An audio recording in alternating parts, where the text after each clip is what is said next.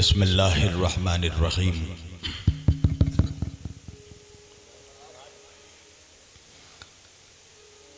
الحمد لله رب العالمين الحمد لله الذي هدانا لهذا وما كنا لنهتدي لولا أن هدانا الله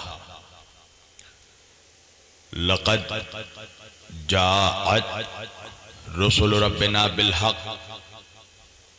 الصلاة والسلام والتحیت والإكرام على سيد اشرف الأنبياء والمرسلين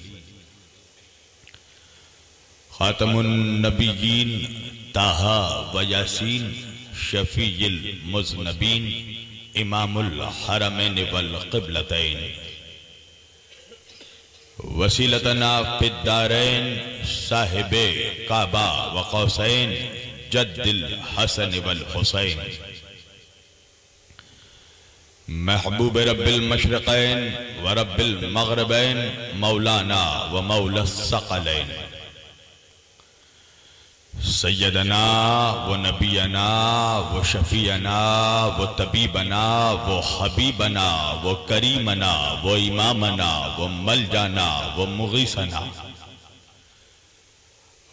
वलुना व औसतना व आखिरना वो कुल्लुना हजूर जनाब अबुल कासिम अहमद मुशतबा मोहम्मद मुस्तफ़ा सल्लल्लाहु वसलम وأهل بيته الطيبين الطاهرين المعصومين المظلومين المنتخبين المنتجبين الغر الميامين وأصحابه المتقين المنتخبين المنتجبين ولعنة الله على أعدائهم أجمعين من يومنا هذا إلى قيام يوم الدين أما بعد فقط قال الله تعالى في الفرقان الحميد والمحكم كتابه المجيد وقوله الحق بسم الله الرحمن الرحيم لقد كان لكم في رسول الله أسوة حسنة صدق الله المولانا العلي العظيم وبلغنا رسوله النبي الأمين الكريم व नहन वाली कलमिन शाहिदीन व शाकरीन वल्हमदिल्लाबीन साउंड बढ़ाओ मेरे भाई हा साउंड बढ़ाओ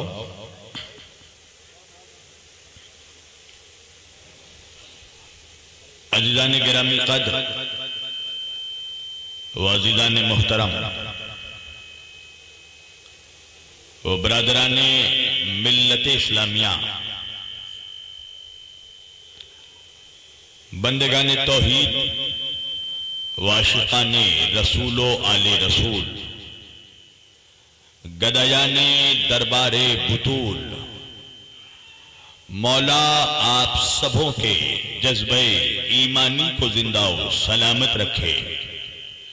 कि ऐसी अंधेरी रात में और ऐसे अजीबो गरीबो शदीद मौसम में ऐसे मिजाज बदलते हुए मौसम में भी आप लोगों का इस जलसे इमाम हुसैन सलाम में ऐसे कसीर मजमे के तहत आकर बैठना इस बात का ऐलान कर रहा है कि मिजाज मौसमों के बदलते हैं अकीदों के नहीं बदलते और माशाल्लाह ये मेरे सामने इमाम हुसैन सलाम के चाहने वालों का मजमा है और आप लोगों को बखूबी मालूम है कि बचपन से बचपन से मेरा एक मिजाज रहा है क्या हुआ मेरे भाई आप लोग जिन लोगों ने हमारी तकारीर सुन रखी है वो जानते हैं कि बचपन से शब्बीर वारसी का एक मिजाज है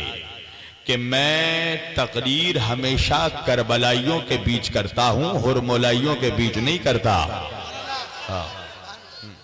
अब माशा ये करबलाइयों का मजमा है हुसैनियों का मजमा है तो आइए इससे पहले कि मैं कुछ कहूँ और आप कुछ सुने एक मरतबा हम और आप मिलकर नबी और आले नबी की बारगाह में इतनी बुलंद आवाज से दरूद पढ़ें कि जितना बुलंद मकाम हमारे दिलों में नबी और आले नबी रखते हैं सब मिलकर दरूद पढ़ने अल्लाह सल्ला सैदना नबीना शफीना मौलाना मोहम्मद बारिक वसलम सल्लु अलैहि सलातम व सलामी का या रसूल अल्लाह व अला का या हबीब अल्लाह व असहाबी का या रसूल अल्लाह व अजवाजी का या नबी अल्लाह सल्लल्लाहु अलैहि वसल्लम ने गिरामी मैंने आज की इस तकरीर के लिए कुरान मजीद की जिस आयत वाफी हिदाया की तिलावत का शरफ हासिल किया और सरनामा सुखन में सरनामा कलाम में जिसे मौजू गुफ्तु करार दिया खुदा बंद करीम इस आयत में अल्लाह कायनात इंसानी से मुखातिब है तमाम दुनिया के इंसानों से अल्लाह खिताब करके फरमा रहा है अल्लाह कह रहा है लकद काना लकुम फी रसूल वतुन हसना ऐ लोगों देखो अगर तुम्हारे लिए किसी का किरदार नमूने अमल है किसी का किरदार रोल मॉडल है तो वो किरदार किरदार मुस्तफ़ा है अगर किसी की इताअत करनी है किसी की इतबा करनी है तो, तो वो किरदार और वो जात जाते सरवरे दो आलम की है यानी के अपने जिंदगी के हर हर हरकतों सकनात में हर हर अमल में हर हर अकीदों में अगर किसी की पैरवी करना है तो वो सरवरे दो आलम की जात है अब यहां पर रुक कर मैं एक बात बताना चाहता हूं यानी कि पता ये चला कि नबी की सीरत उम्मत के लिए नमूना अमल है उस वह हसना पता नहीं मुझे ये माइक में क्या प्रॉब्लम है ये आवाज हमारी खेच रही है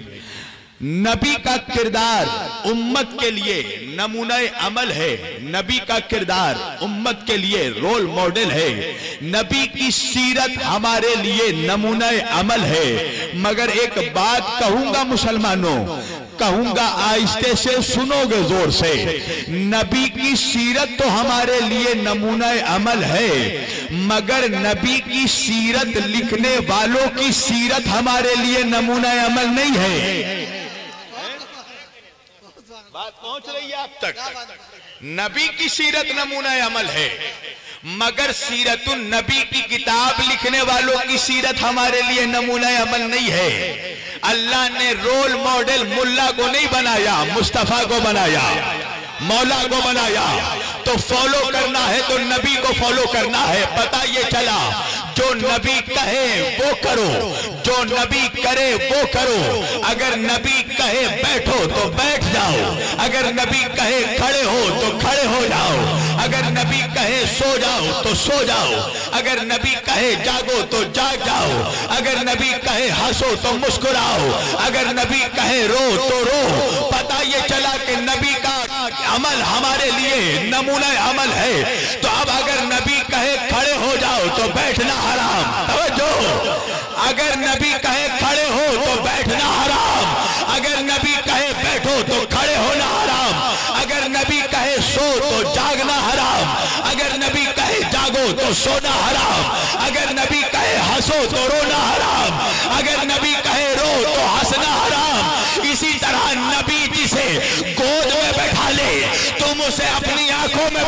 और नबी जी से आंखों में बैठा ले तुम उसे अपने दिल में बैठा लो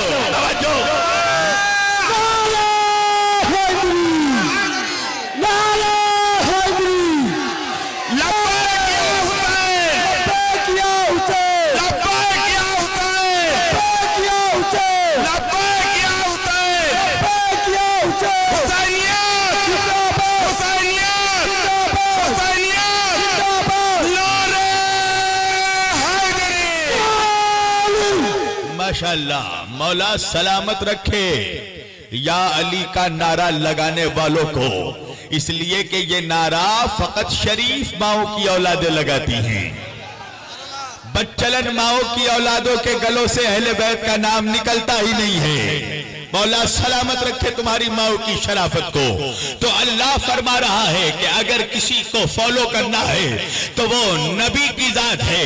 ये वो जात है कि जिस पर किसी को इख्तलाफ नहीं ना शिया ना सुन्नी ना वहाबी ना बरेलवी ना देवबंदी ये फिर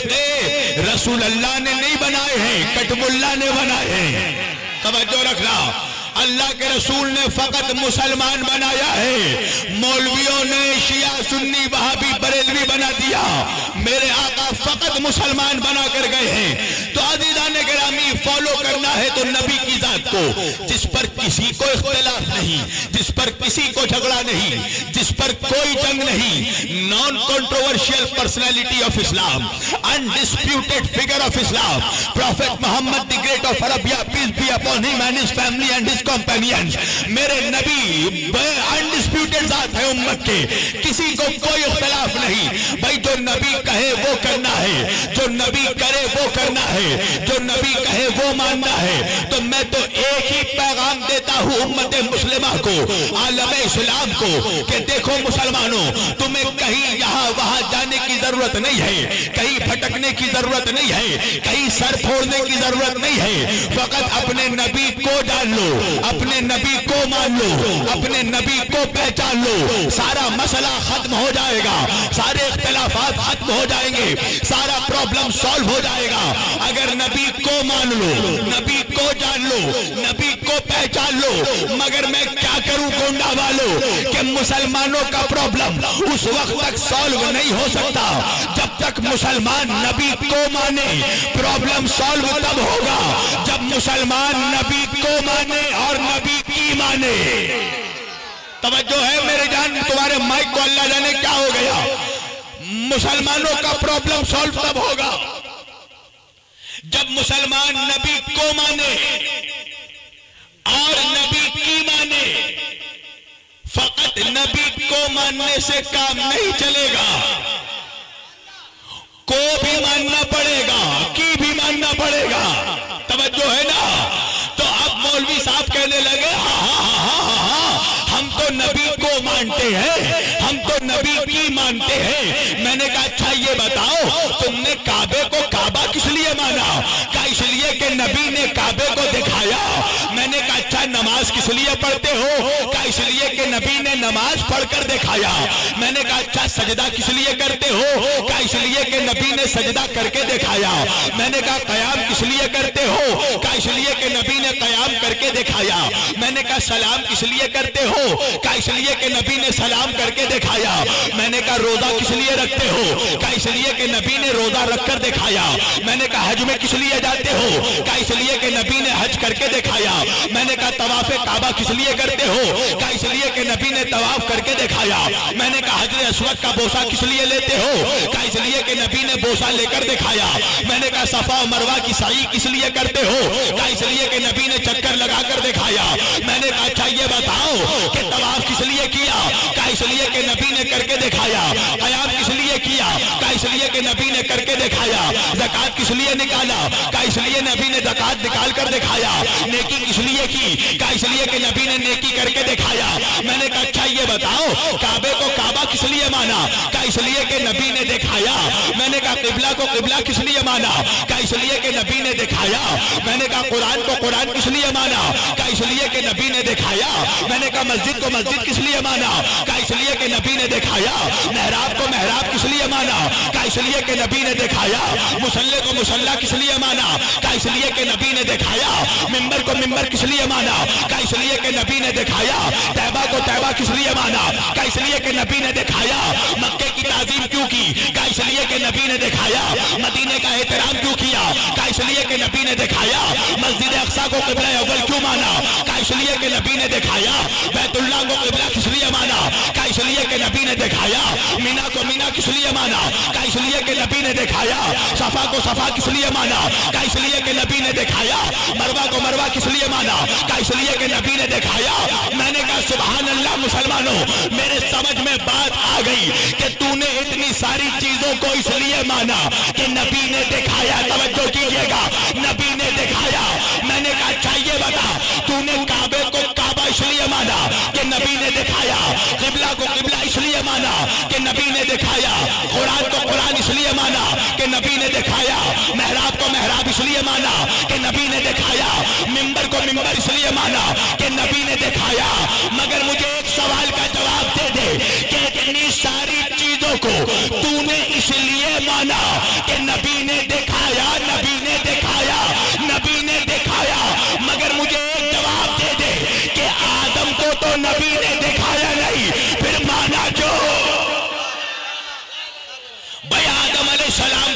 नबी ने दिखाया नहीं फिर माना क्यों शीश को तो नबी ने दिखाया नहीं फिर माना क्यों इदरीस को तो नबी ने दिखाया नहीं फिर माना क्यों बाशक को तो नबी ने दिखाया नहीं फिर माना क्यों नूह को तो नबी ने दिखाया नहीं फिर माना क्यों शाम को तो नबी ने दिखाया नहीं फिर माना क्यों सारू को तो नबी ने दिखाया नहीं फिर माना क्यों रहू को तो नबी ने दिखाया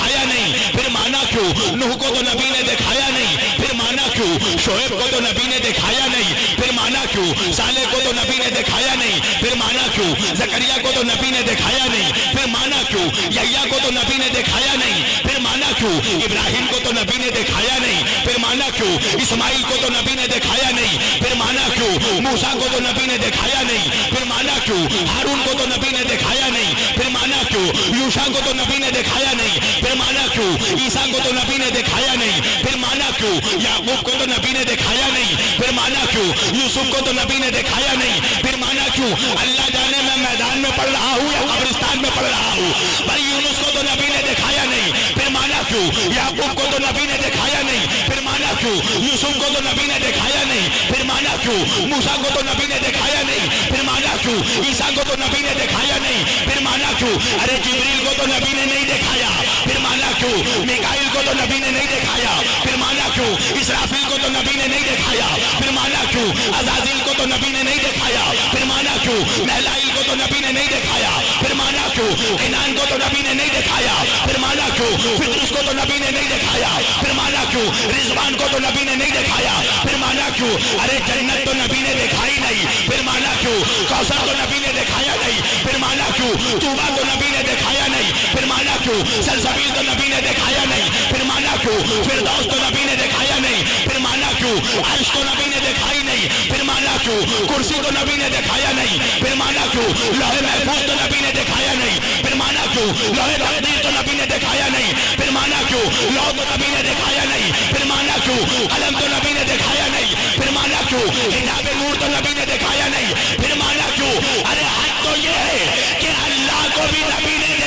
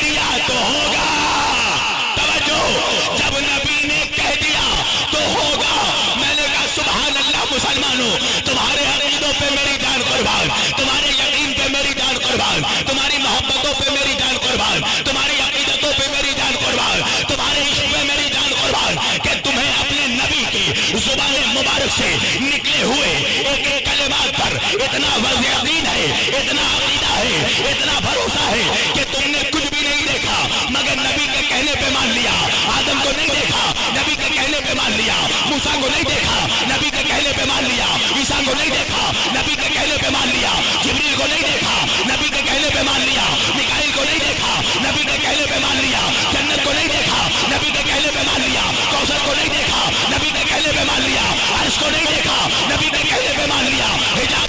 देखा नबी के पहले पे मान लिया लाहौल आलम नहीं देखा नबी के पहले पे मान लिया सिद्धतुल मुंतहा नहीं देखा नबी के पहले पे मान लिया हद तो यह है कि अल्लाह को भी नहीं देखा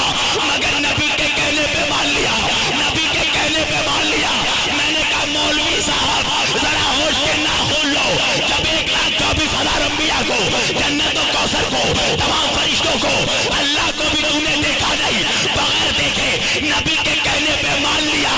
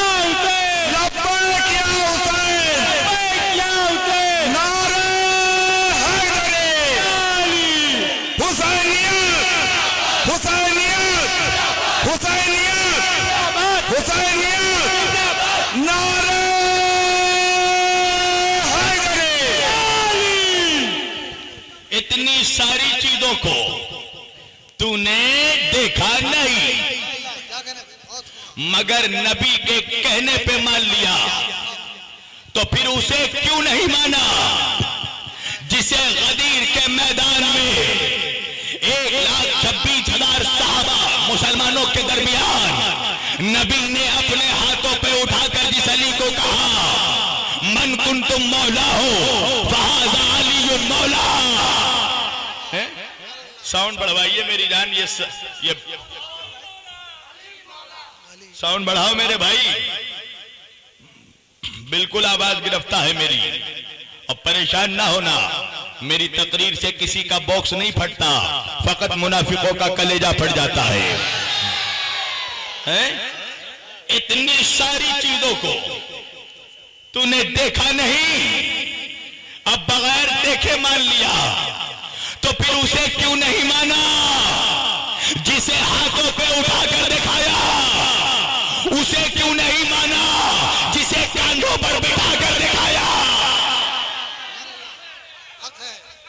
हाथों पे उठाकर कहा मन तुम तो मौला हो फादा अली मौला मैं जिस जिसका मौला अली उस उसका मौला अब रात में बैठकर मौलवी साहब सोचते रहना नबी किस किसका मौला तवज्जो तवज्जो अब सोचते रहना नबी किस किस का मौला तो जिस जिस का नाम जहन में आए ना समझ जाना नबी जिस जिस का मौला अली उस उसका मौला हम सबका मौला हम सबका मौला वो बताया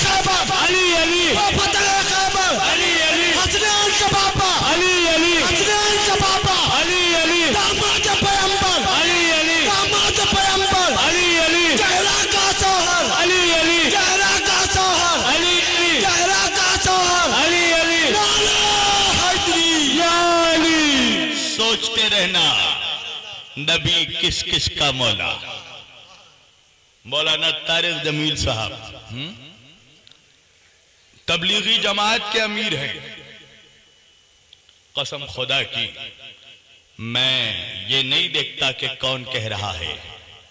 मैं ये देखता हूं क्या कह रहा है मौला अली फरमाते हैं ये मत देखो कि कौन कह रहा है ये देखो कि क्या कह रहा है अगर मुसलमान झूठ कहे तो उसकी बात को फेंक डालो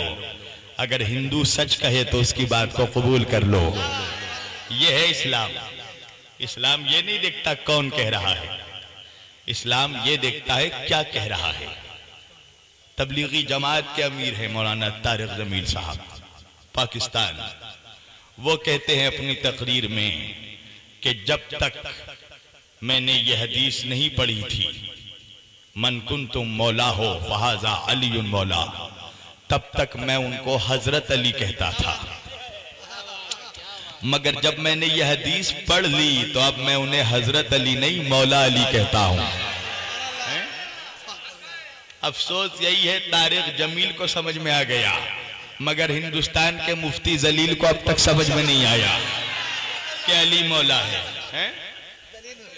जब इस हदीस का इनकार नहीं कर सका तो तर्जुमे में डंडी मार दी इसीलिए मुसलमान हर जगह डंडा खा रहा है कि बैत के मसले पे डंडी मार देता है, ये वो हदीस है गदीर की हदीस नबी ने एक लाख छब्बीस हजार साहबा के दरमियान अली को हाथों पे उठाकर कहा मैं जिस जिस का मौला अली उस का मौला और सबसे पहले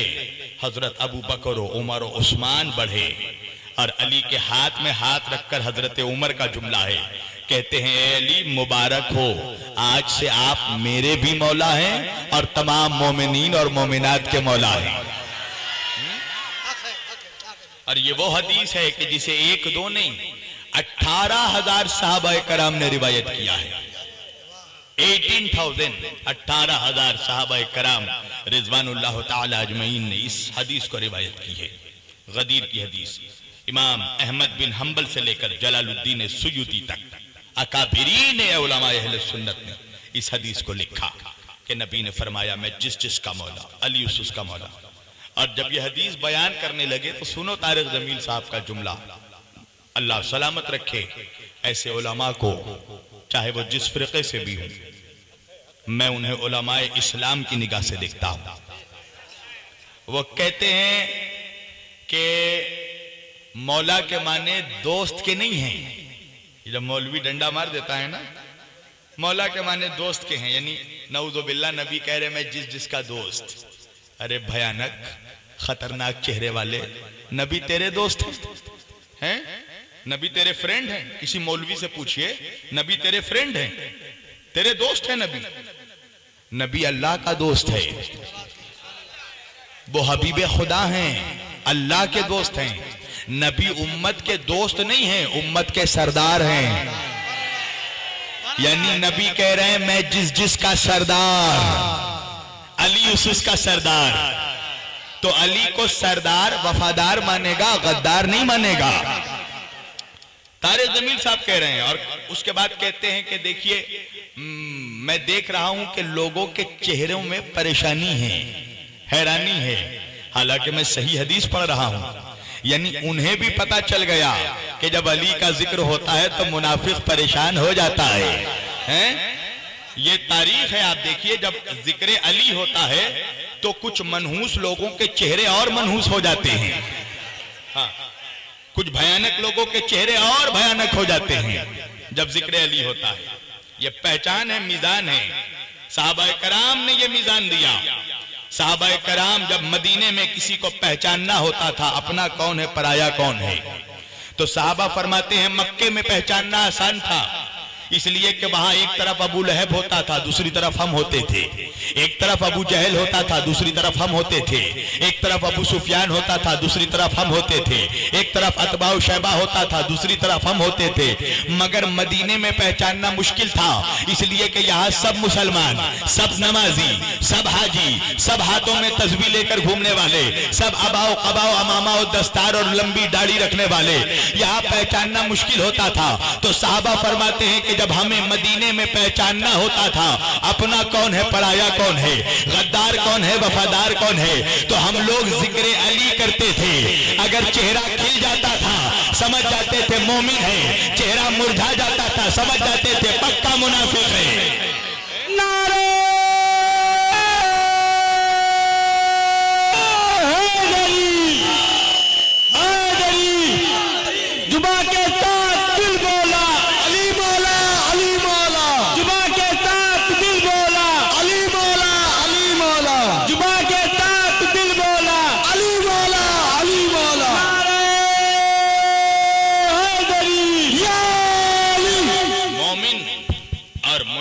के दरमियान जो मीज़ान है उस मीज़ान को अली कहते हैं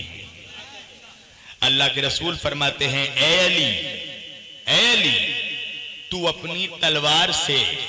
किसी मोमिन की नाक भी काट दे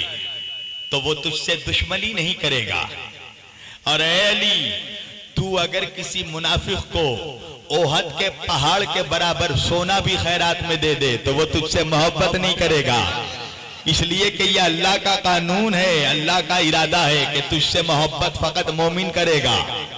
और तुझसे दुश्मनी फकत मुनाफिक रखेगा है तो यहां तो कोई बात नहीं है यहां तो बात अली की हो रही है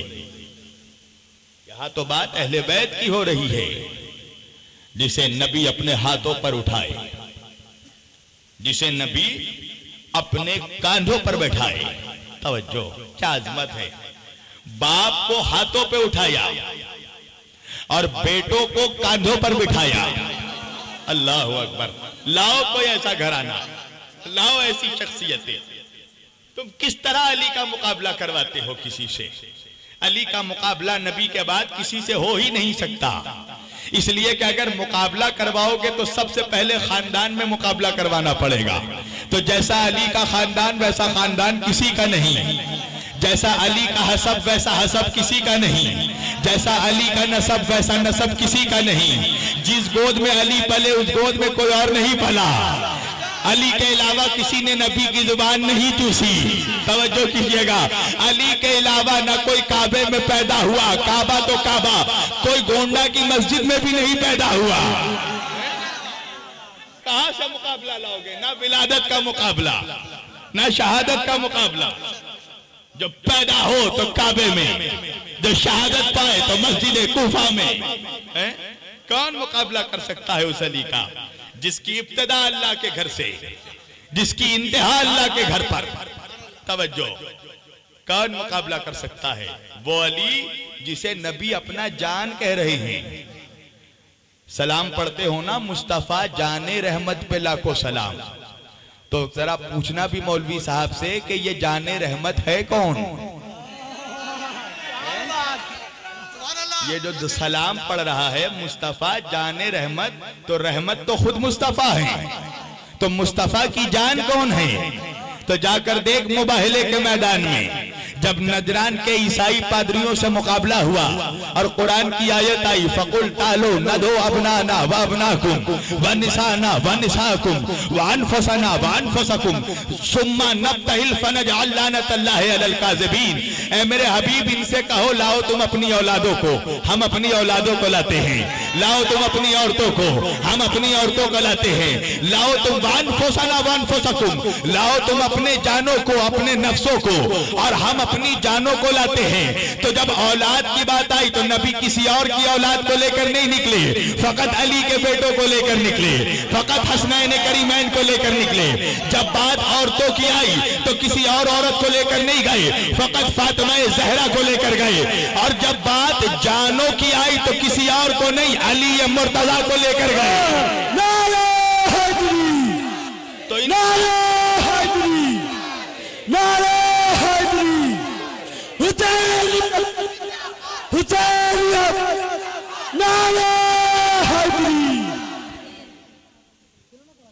वॉल्यूम बढ़ाओ मेरी जान हमें मालूम है ये सारे पैतरे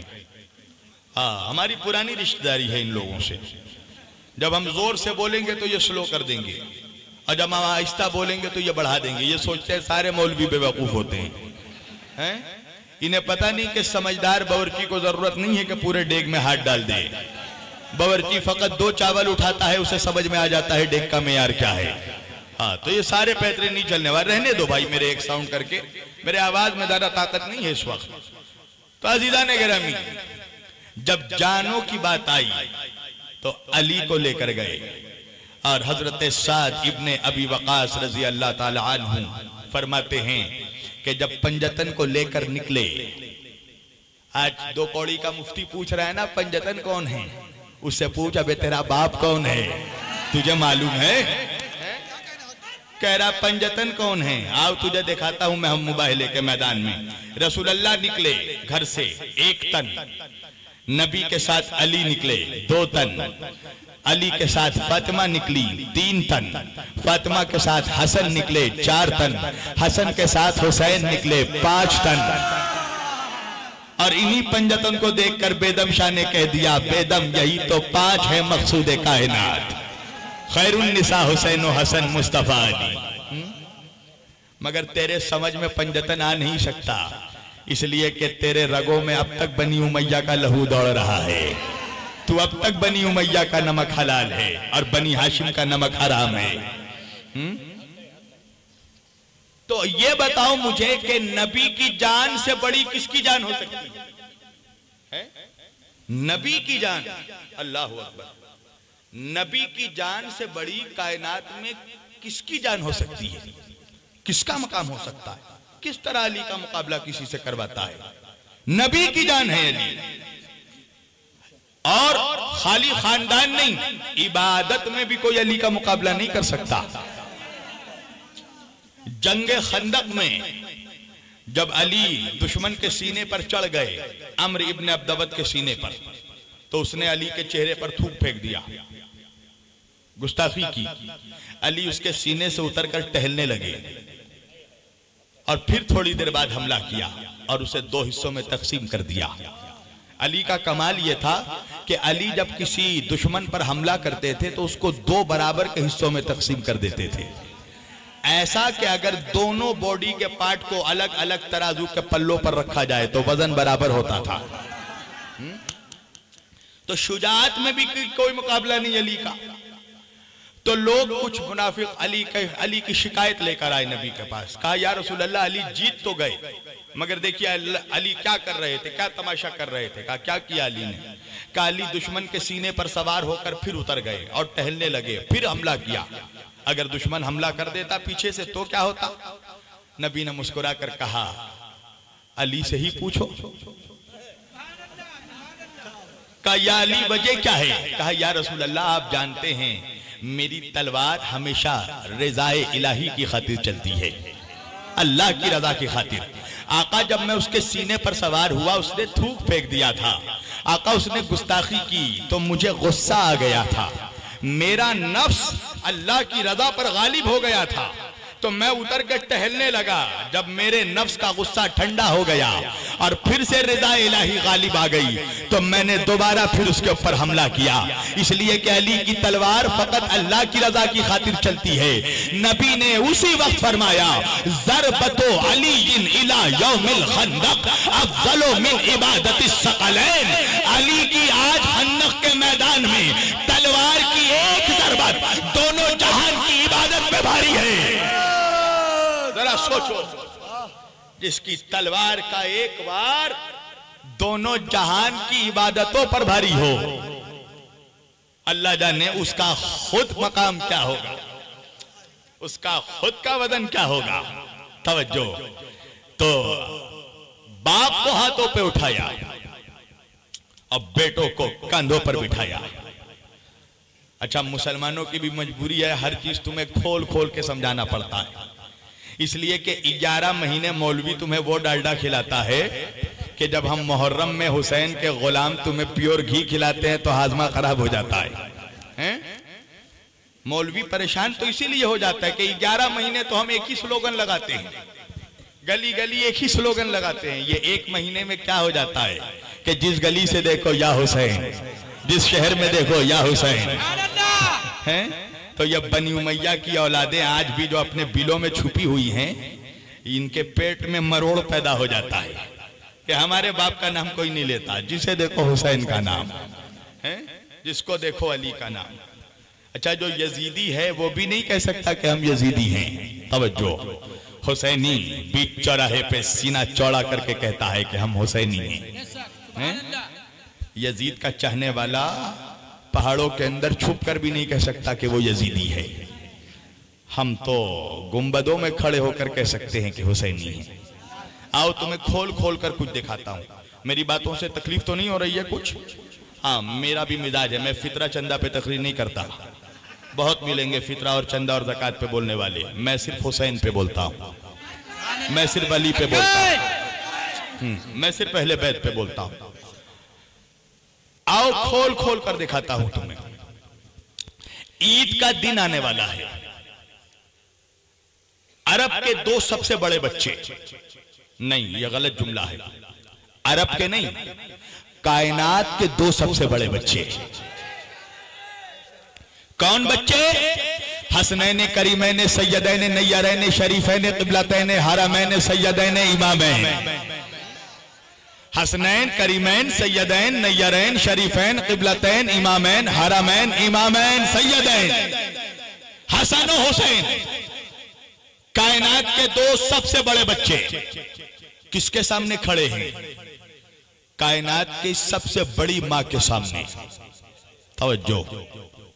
सैयदा फातमा जहरा सलाम ये वो माँ है कि जिसे देखकर उम्मत की माए भी खड़ी हो जाती थी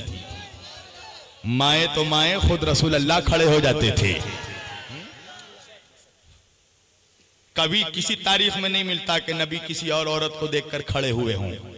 मगर जैसी ही फातिमा आती थी नबी खड़े हो जाते थे अल्लाह अकबर फातिमा जहरा सिद्दीका ताहिरा बुतूल अजरा इंसिया होरा बिनत रसूल अल्लाह उम्मुल हसनैन जौजत अमीरुल मोमिनीन उम्मु सादात फातिमत जहरा सलामुल्लाह अलैहा व सलावतुल्लाह अलैहा कायनात के दो सबसे बड़े बच्चे कायनात के सबसे बड़ी माँ के सामने खड़े हो गए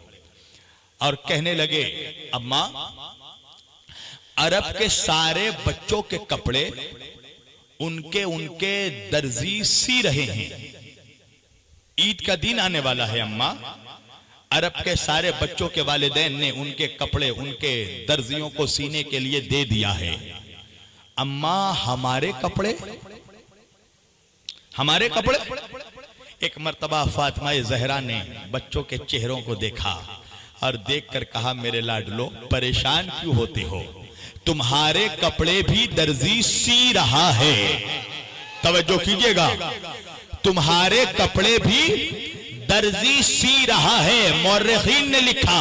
तारीख लिखने वालों ने लिखा कि अरब में कोई ऐसा दर्जी नहीं था मक्का और मदीने में कि जो हसनैन के कपड़े सी रहा था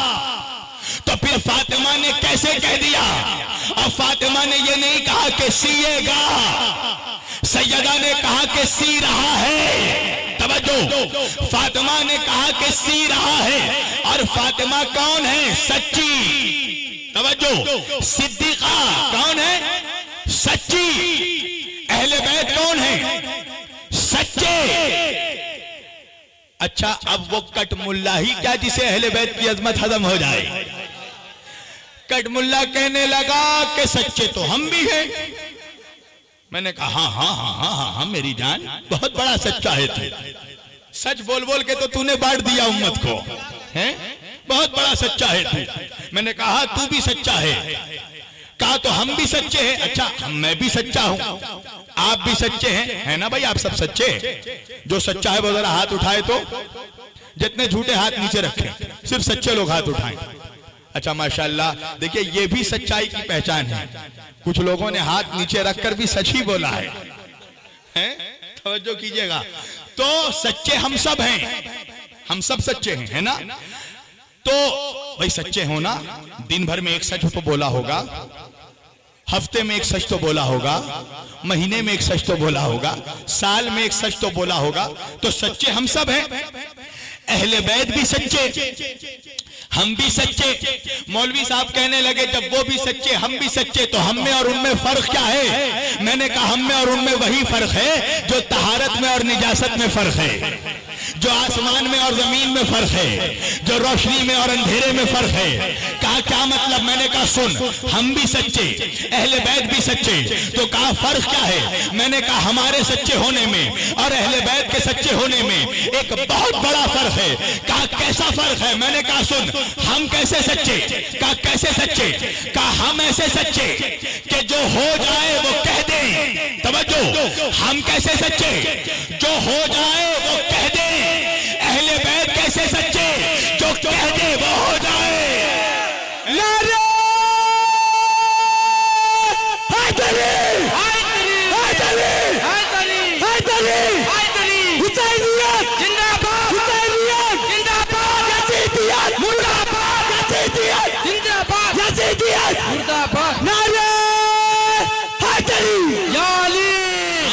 सच्चे जो हो जाए वो कह दें अहले बैत कैसे सच्चे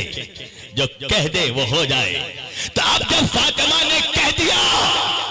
तो कयामत तो आ सकती है मगर कौले फातिमा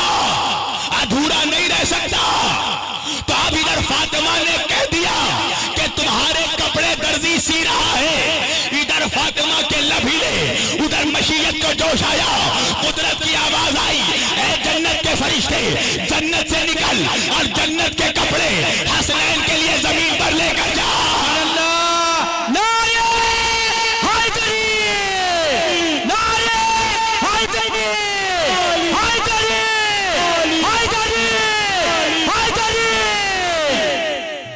का फरिश्ता रिजवान जन्नत कपड़े लेकर आया हसन के लिए शब्द जोड़ा बड़े नवासे के लिए शब्द जोड़ा हुसैन के लिए सुर्ख जोड़ा कपड़े लेकर आ रहा है दर्जी हसनैन के लिए कपड़े आ रहे हैं नहीं पहुंचा मेरा मजमा अल्लाह जाने गोंडा वाले कहां सोए हुए हैं कपड़े आ रहे हैं सवाल यह है कि कहां से आ रहे हैं लंदन से आ रहे हैं स्पेन से आ रहे हैं बार्सिलोना से आ रहे हैं एम्स्टरडेम से आ रहे हैं ऑस्ट्रेलिया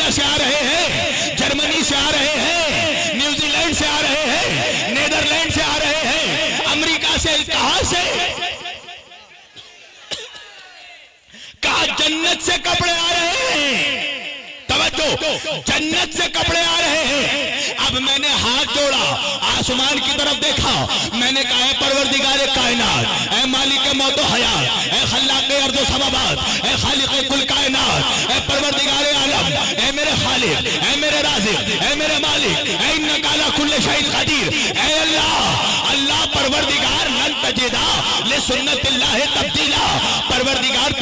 कानून में तब्दीली नहीं होती तेरा कानून नहीं बदलता तेरा निजाम नहीं बदलता तेरा सिस्टम चेंज नहीं होता अरे तेरा कानून कोई हिंदुस्तान का पार्लियामेंट हाउस तो नहीं है कि हर पांच साल में नई हुकूमत आए नया बिल पास करके नया कानून ला दिया जाए परवरदिगार ये बंदों का कानून नहीं है ये इलाही कानून है मालिक तेरा कानून नहीं बदलता तेरे कानून में तब्दीली नहीं आती कहा हाँ, हाँ, नहीं बदलता मैंने कहा जब नहीं बदलता तो आज कैसे बदल गया मैंने कहा जब वहां नहीं बदलता जब कभी नहीं बदलता तो आज कैसे बदल गया कहा क्या मतलब मैंने कहा परवरदिगार मैंने तारीख पढ़ा है मैं उन मौलवियों की तरह नहीं हूं जिन्हें हिस्ट्री पढ़कर हिस्टेरिया हो जाता है परवरदिगार मैंने हिस्ट्री पढ़ा है मैंने तारीख पढ़ा है मैंने तारीख आदम पढ़ा है कहा क्या पढ़ा है तूने मैंने कहा मालिक जब तूने आदम को हुक्म दिया कि आदम जन्नत से निकलो जमीन पर जाओ तो आदम जन्नत बने हुए थे मगर जैसे ही जन्नत के दरवाजे तक पहुंचे तूने कहा आदम ठहर जाओ जन्नत के कपड़े जन्नत में उतारो तो आदम जन्नत के लिबास जन्नत में उतारो इसलिए कि जन्नत के कपड़े जमीन पर नहीं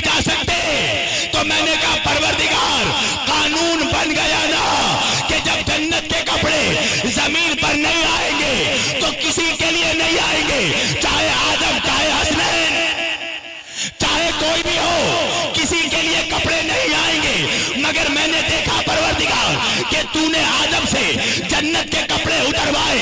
हसनैन के लिए जन्नत के कपड़े भिजवाए आखिर सबक क्या है एक जुमले में एक मिसाल में वादे करूं भाई मैं अभी गोंडा आया हूँ तुम्हारा मेहमान हूं ना बंगाल से आया हूँ कलकत्ते से आया हूँ तो तुम मेहमान नवाजी करोगे ना मेहमान का इस्तेमाल करना नबी की सुन्नत अहले बैत की सुन्नत तो तुमने मेरा इस्तेमाल किया ना तुमने मुझे कहीं पे ठहराया ना भाई मुझे नवाब भाई ने अपने घर में ठहराया अपने कमरे में ठहराया जब मैं नवाब भाई के कमरे में गया तो कमरे के अंदर बेड था बेड के ऊपर गद्दा था गद्दे के ऊपर चादर थी चादर के ऊपर तकिया था तकिए के पहलू में कंबल था तो जब मैं उनके कमरे में गया तो उनके गद्दे का भी इस्तेमाल किया उनके चादर का भी इस्तेमाल किया उनके बेड पे भी बैठा उनके तकिए पे सर भी रखा उनका कंबल भी ओढ़ा उनके घर का भी इस्तेमाल किया मगर इंसाफ से बताओ जब मैं यहां से लौट कर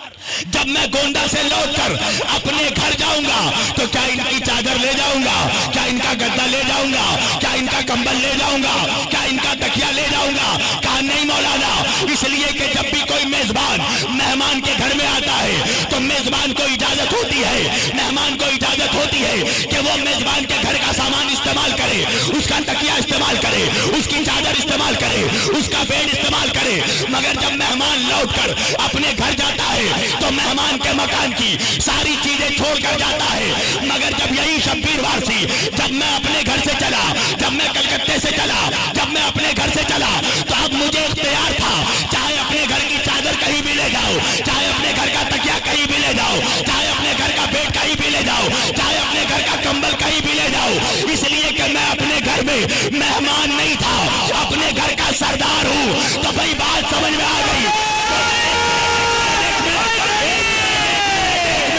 जुमला तमाम होने को बात समझ में आ गई जो जन्नत का मेहमान था उससे कपड़े उतरवाए जो जन्नत का सरदार था उसके लिए कपड़े भिजवाए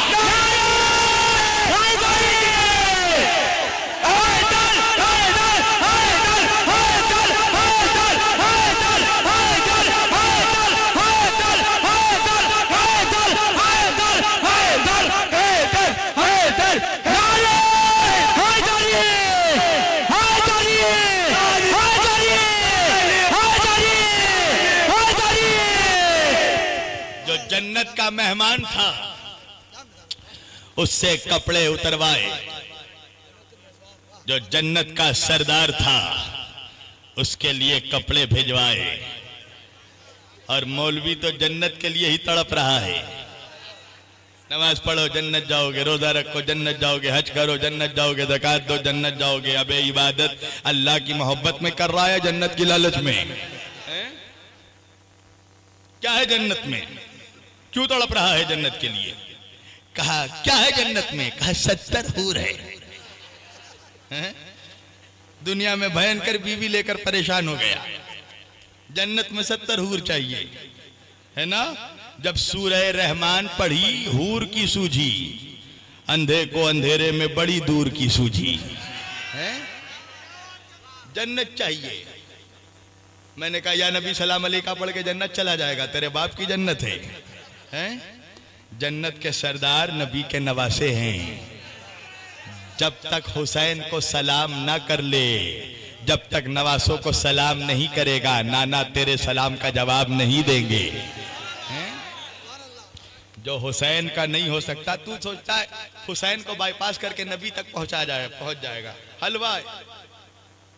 बहुत कोड़े लेकर खड़े होंगे वहां फरिश्ते हैं हुसैन को छोड़कर नबी तक जाएगा इतना बड़ा बुकराद हो गया अली को बाईपास करके नबी तक पहुंचेगा नबी के घर वालों को छोड़कर अबे मेरे घर में बगैर मेरे परमिशन के तू नहीं जा सकता जन्नत में बगैर जन्नत के सरदारों के परमिशन के जाएगा हुँ? हम्म? कौन है जन्नत के सरदार शाह वलीउल्लाह मोहद्दिस दहलवी रहमतुल्लाह उन्होंने उन्होंने भी लिख दिया कि नबी एक रोज हसनैन को चूम रहे हैं कभी पेशानी चूमते हैं कभी हसन हुसैन के रुखसार चूम रहे हैं नबी हसन हुसैन के गले को चूम रहे हैं नबी सीने को चूम रहे हैं आंखों को चूम रहे हैं होठ चूम रहे हैं बाजुओं को चूम रहे हैं और फकत चूम नहीं रहे हैं सूंघ रहे हैं साहबा कहते हैं या रसूल अल्लाह ये चूमना तो समझ में आता है ये सूंघना समझ में नहीं आता आप नाना हैं ये नवासे हैं आप चूम रहे हैं समझ में आता है ये सूंघना समझ में नहीं आता आका फरमाते हैं मेरे साहबा मेरे मुसलमानों क्या तुम्हें नहीं पता अल हसन वल हुसैन सैदा शबाबिल अहलिल जन्ना ये मेरे दोनों नवासे जन्नत के नौजवानों के सरदार हैं मैं इनके जिस्मों को नहीं सूंघ रहा हूँ जन्नत की खुशबू सूंघ रहा हूँ ये सरदार हैं जन्नत के है? अब बगैर सरदार को बाईपास किए तू तो जन्नत चला जाएगा तवज्जो बड़ा बदनसीब है वो मुसलमान जो मुल्ला के चक्कर में आकर मौला को छोड़ दे सच बता रहा हूं अच्छा देखो मुल्ला होना कोई ख़राब बात नहीं है मुल्ला तो इस कौम के शरीफ लोग हैं मैं खुद मौलवी हूँ मैं खुद मुल्ला हूँ परेशान किया हुआ है उम्मत को कट मुल्लाओं ने हाँ कुछ नफरत ज़दा मुतशद जहनों के जो मुलायत से कट होकर कट मुल्ला हो जाते हैं उन्होंने उम्मत को काट दिया है आपस में तो जन्नत के सरदार हैं हसन हुसैन आज जमाना क्या आ गया दो दो कौड़ी का इंसान जिसकी कोई हैसियत नहीं वो सैदों पे भौंक रहा है आले रसूल पे भौंक रहा है सैयद का क्या होगा सैयदों का क्या होगा क्या होगा मतलब सैयद नमाज नहीं पढ़ेगा जन्नत जाएगा सैयद रोज़ा नहीं रखेगा जन्नत चला जाएगा सैयद हज नहीं करेगा जन्नत चला जाएगा ये सवाल डाला जा रहा है नौजवानों के जहनों में ताकि नौजवानों के दिलों से सैयदों की अजमत घट जाए हैं और जो कह रहा है वो मीठी मीठी बात कर रहा है, है? समझ गए ना कौन मीठे मीठे लोग हैं आप समझ गए होंगे और इन मीठे मीठे लोगों को मेरी कड़वी बात हजम नहीं हो पाती सैयदों का क्या होगा नमाज नहीं पढ़ेंगे जन्नत चले जाएंगे रोज़ा नहीं रखेंगे जन्नत चले जाएंगे तू अपने बाप के बारे में सोच तू अपनी औलाद के बारे में सोच इसलिए कि तेरे बाप दादा कोई रवि शंकर था कोई मनोज कुमार था कोई कनकर को शंकर मानने वाला था सैयदों के बाप दादाओं के बारे में मत सोच सैयदों के दादा है मुस्तफ़ा सैदों के दादा हैं अली मुर्तदा सैदों के नाना हैं रसूल अकरम सैदों के बाप हैं हसनैन करीमैन हैं सैदों के बारे में मत सोच अच्छा ये बताइए अल्लाह के रसूल जब ये कह रहे थे अल हसन वल हुसैन सैदा शबाबिल अहल जन्ना मेरे दोनों नवासे जन्नत के नौजवानों के सरदार हैं अच्छा एक जगह मैं हदीस पढ़ रहा था एक चचा गुस्सा में आ गया और कहने लगे कि नौजवानों के सरदार है तो हम बुढ़ों का सरदार कौन होगा मैंने कहा चचा जन्नत में कोई बुढ़ा जाएगा ही नहीं कहा क्या मतलब हम लोग नहीं जाएंगे मैंने कहा चचा अकीदा मजबूत कर लीजिए अरे अल्लाह जब यूसुफ के सदक़े में जुलैखा को जवानी दे सकता है तो मुस्तफ़ा के सदक़े में उम्मत के बूढ़ों को जवानी नहीं दे सकता जन्नत में कोई बुढ़ा नहीं होगा कोई बच्चा नहीं होगा सब नौजवान सब नौजवान और सबके सरदार हसन हुसैन सबके सरदार हसनैन अच्छा ये बताओ जब नबी ये बात ये हदीस फरमा रहे थे अल हसन अवल हुसैन सैदा शबाबिल अहिल जन्ना मेरे दोनों नवासे जन्नत के नौजवानों के सरदार हैं मुझे ये बताओ जब ये नबी हदीस बयान कर रहे थे कि मेरे दोनों नवासे जन्नत के नौजवानों के सरदार हैं उस वक्त क्या हसन हुसैन खुद नौजवान हो चुके थे बोलो जब नबी कह रहे हैं कि ये दोनों जन्नत के नौजवानों के सरदार तो क्या उस वक्त ये दोनों खुद नौजवान हो चुके थे हैं? कितनी उम्र थी बजाहिर क्या उम्र थी छह साल इमाम हसन की उम्र पांच साल इमाम हुसैन की उम्र छह साल पांच साल अच्छा किसी मौलवी से पूछो कि क्या छह साल पांच साल के बच्चों पे शरीयत वाजिब है हाँ? है वाजिब नमाज वाजिब है रोज़ा वाजिब है हज वाजिब है कहा नहीं शरीयत वाजिब कब होगी कम अज कम तेरह साल की उम्र में जब सीने बुलुगत पे पहुंचेगा कम अज कम मैं बता रहा हूं ऐसे चौदह पंद्रह साल की उम्र में कम अज कम बता रहा हूं मैं तेरह साल की उम्र में जब सीने बुलुगत पर बच्चे पहुंच जाएं तब नमाज और रोज़ा हज जका तो शरीयत वाजिब मगर जब तक बालिग नहीं तब तक कुछ वाजिब नहीं तो अभी छह साल पांच साल की उम्र है मैंने हाथ जोड़ के अर्ज किया या रसूल अल्लाह अभी तो हसनैन बच्चे हैं अभी तो ये दोनों खुद नौजवान नहीं हुए हैं और आप कह रहे हैं कि ये नौजवानों के सरदार हैं अच्छा नबी ये नहीं कह रहे कि सरदार होंगे तवज्जो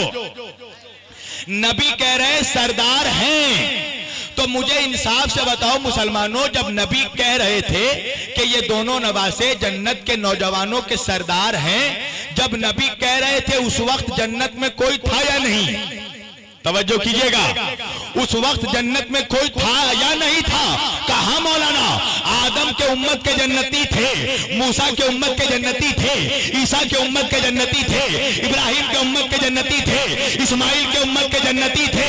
और जो भी था नबी कह रहे सबके सरदार ये है तवज्जो जो था उसके भी सरदार जो है उसके भी सरदार जो जन्नत जाएगा उसके भी सरदार मैंने कहा आ हाँ, अब तक तो हसनैन ने कोई बड़ा कारनामा नहीं किया अगर आप ये कहते कि शहादत के बाद हसन सरदार होगा तो बात समझ में आती के बाद हुसैन सरदार होगा तो बात समझ में आती अगर आप कहते शहादत के बाद हुसैन सरदार होगा तो बात समझ में आती मगर आका अभी ना सर कटाया अभी ना घर लुटाया अभी ना दीन बचाया अभी ना नोके लहजा पर कुरान की तिलावत की या रसूल अल्लाह अभी तो कुछ नहीं किया और आप कह रहे हैं ये दोनों अभी से सरदार हैं ये माजरा क्या है नबी ने कहा यही तो मुनाफिकों को और अपनी औलादों के दुश्मनों को जवाब देना चाहता हूँ कि देखो सैयदों की इज्जत नमाजों की वजह से नहीं है रोजों की वजह से नहीं है तकवों की वजह से नहीं है सैयद की इज्जत नस्बत मुस्तफा की वजह से है खून मुर्तजा की वजह जो नबी करे वो करना है जो नबी कहे वो मानना है तो मैं तो एक ही पैगाम देता हूँ उम्मत मुसलिमा को आलम इस्लाम को कि देखो मुसलमानों तुम्हें कहीं यहां वहां जाने की जरूरत नहीं है कहीं भटकने की जरूरत नहीं है कहीं सर फोड़ने की जरूरत नहीं है फकत अपने नबी को जान लो अपने नबी को मान लो अपने नबी को पहचान लो सारा मसला खत्म हो जाएगा सारे इख्तलाफात खत्म हो जाएंगे सारा प्रॉब्लम सॉल्व हो जाएगा अगर नबी को मान लो नबी को जान लो नबी को पहचान लो मगर मैं क्या करूं गोंडा वालों कि मुसलमानों का प्रॉब्लम उस वक्त तक सॉल्व नहीं हो सकता जब तक मुसलमान नबी को माने प्रॉब्लम सॉल्व तब होगा जब मुसलमान नबी को माने और नबी की माने तवज्जो है मेरे जान तुम्हारे माइक को अल्लाह जाने क्या हो गया मुसलमानों का प्रॉब्लम सॉल्व तब होगा जब मुसलमान नबी को माने और नबी की माने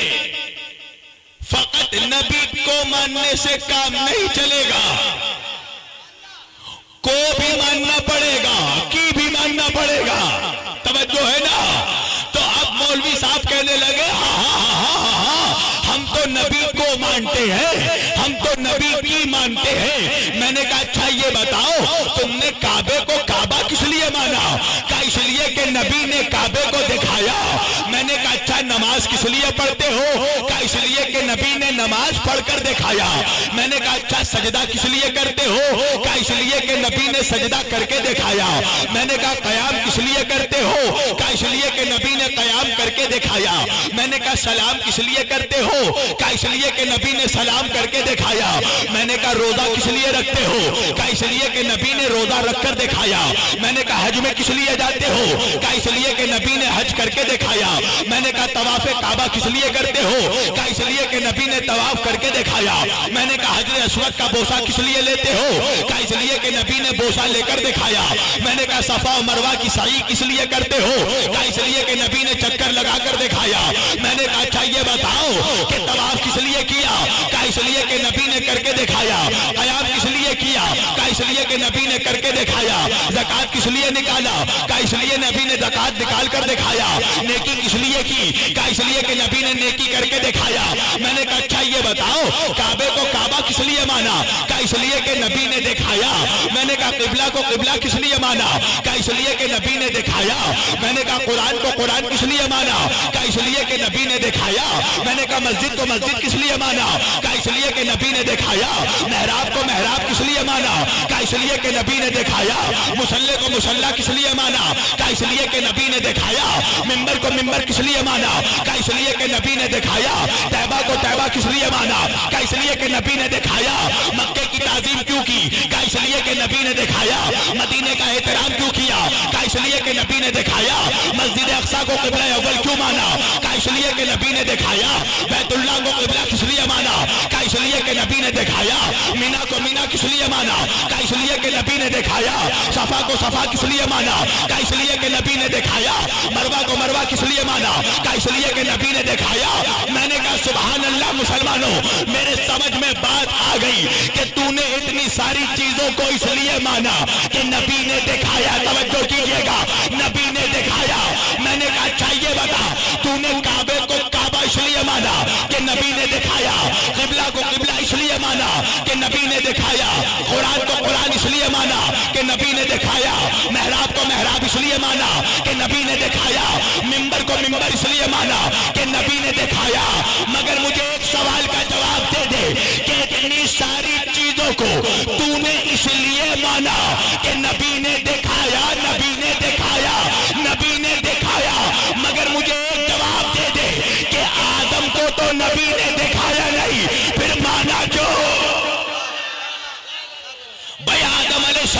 तो नबी ने दिखाया नहीं फिर माना क्यों शीश को तो नबी ने दिखाया नहीं फिर माना क्यों इदरीस को तो नबी ने दिखाया नहीं फिर माना क्यों राशद को तो नबी ने दिखाया नहीं फिर माना क्यों नूह को तो नबी ने दिखाया नहीं फिर माना क्यों शाम को तो नबी ने दिखाया नहीं फिर माना क्यों सारू को तो नबी ने दिखाया नहीं फिर माना क्यों रहू को तो नबी ने दिखाया नहीं फिर माना क्यों नूह को तो नबी ने दिखाया नहीं फिर माना क्यों शोएब को तो नबी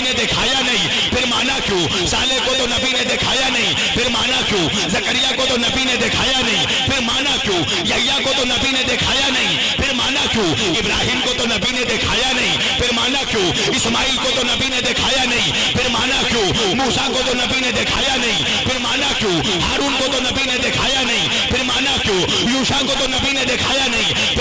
क्यों ईसा को तो नबी ने दिखाया नहीं फिर माना क्यों याकूब को तो नबी ने दिखाया नहीं फिर माना क्यों यूसुफ को तो नबी ने दिखाया नहीं फिर माना क्यों अल्लाह जाने मैं मैदान में पढ़ रहा हूँ या कब्रिस्तान में पढ़ रहा हूँ भाई यूनुस को तो नबी ने दिखाया नहीं फिर माना क्यों याकूब को तो नबी ने दिखाया नहीं फिर माना क्यों यूसुफ को तो नबी ने दिखाया नहीं फिर माना क्यों मूसा को तो नबी ने दिखाया नहीं फिर माना क्यों ईसा को तो नबी ने दिखाया नहीं फिर माना क्यों अरे जिबरील को तो नबी ने नहीं दिखाया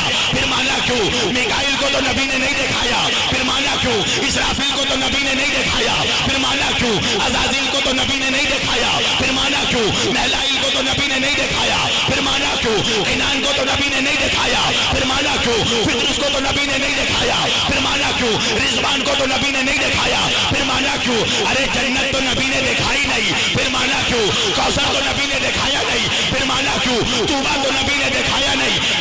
क्यों सलसबील तो नबी ने दिखाया नहीं फिर माना क्यों फिर दोस्त तो नबी ने दिखाया नहीं फिर माना क्यों अर्श तो नबी ने दिखाई नहीं फिर माना क्यों कुर्सी तो नबी ने दिखाया नहीं फिर माना क्यों लोहे महफूज तो नबी ने दिखाया नहीं फिर माना क्यों लोहे तकदीर तो नबी ने दिखाया नहीं फिर माना क्यों लोह तो नबी ने दिखाया नहीं फिर माना क्यों अलम तो नबी ने दिखाया नहीं फिर माना क्यों हिजाब नूर तो नबी ने दिखाया नहीं फिर माना क्यों अरे हक तो ये है कि अल्लाह को भी नबी ने दिखाया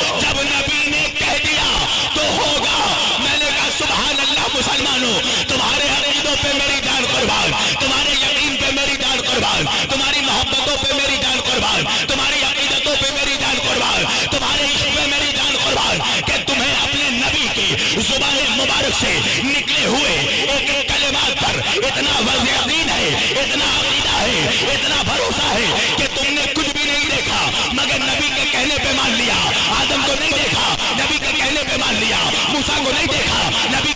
पे मान लिया ईसा को नहीं देखा नबी के कहने पे मान लिया जिब्रील को नहीं देखा नबी के कहने पे मान लिया मिकाइल को नहीं देखा नबी के कहने पे मान लिया जन्नत को नहीं देखा नबी के कहने पे मान लिया कौशल को नहीं देखा नबी के कहने पे मान लिया अर्श को नहीं देखा नबी के कहने पे मान लिया हिजाब को नहीं देखा नबी के कहने पे मान लिया लहू आलम नहीं देखा नबी के कहने पे मान लिया सिरतुल मुल्ताहा नहीं देखा नबी के कहने पे मान लिया हद तो यह है कि अल्लाह को भी नहीं देखा मगर नबी के कहने पे मान लिया नबी के कहने पे मान लिया मैंने कहा मौलवी साहब जरा होश के ना हो लो जब एक लाख चौबीस हजार अम्बिया को जन्नत कौशल को तमाम फरिश्तों को अल्लाह को भी तूने देखा नहीं बगैर देखे नबी के कहने पे मान लिया तो फिर उसे क्यों नहीं माना जिसे गदीर के मैदान में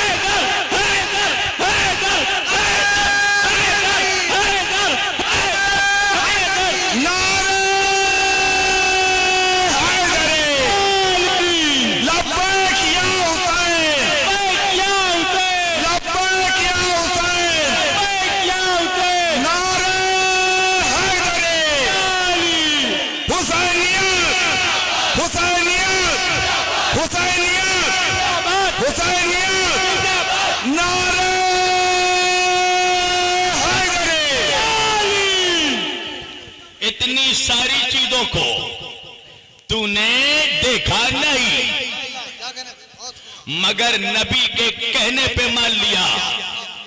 तो फिर उसे क्यों नहीं माना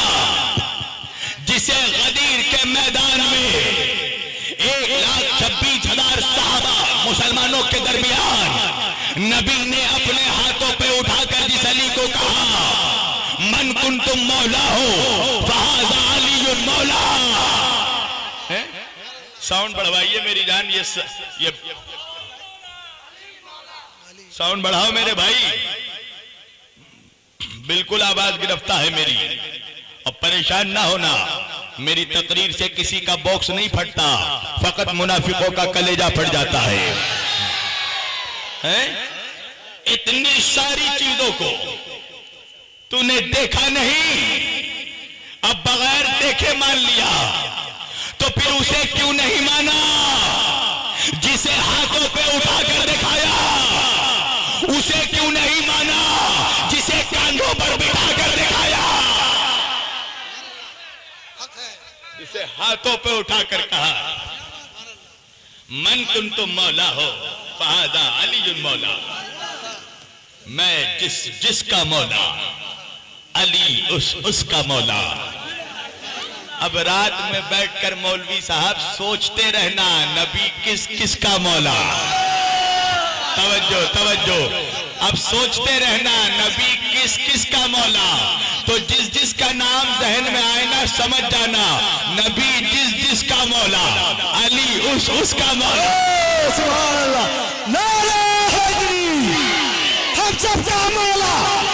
हम सबका मौला वो फतह खैबर अली अली वो फतह खैबर अली अली हसनैन का पापा अली अली हसनैन का पापा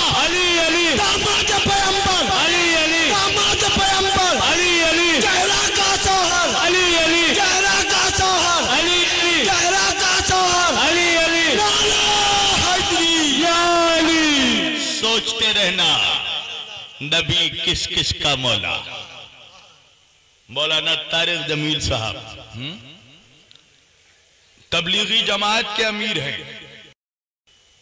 कसम खुदा की मैं ये नहीं देखता कि कौन कह रहा है मैं ये देखता हूं क्या कह रहा है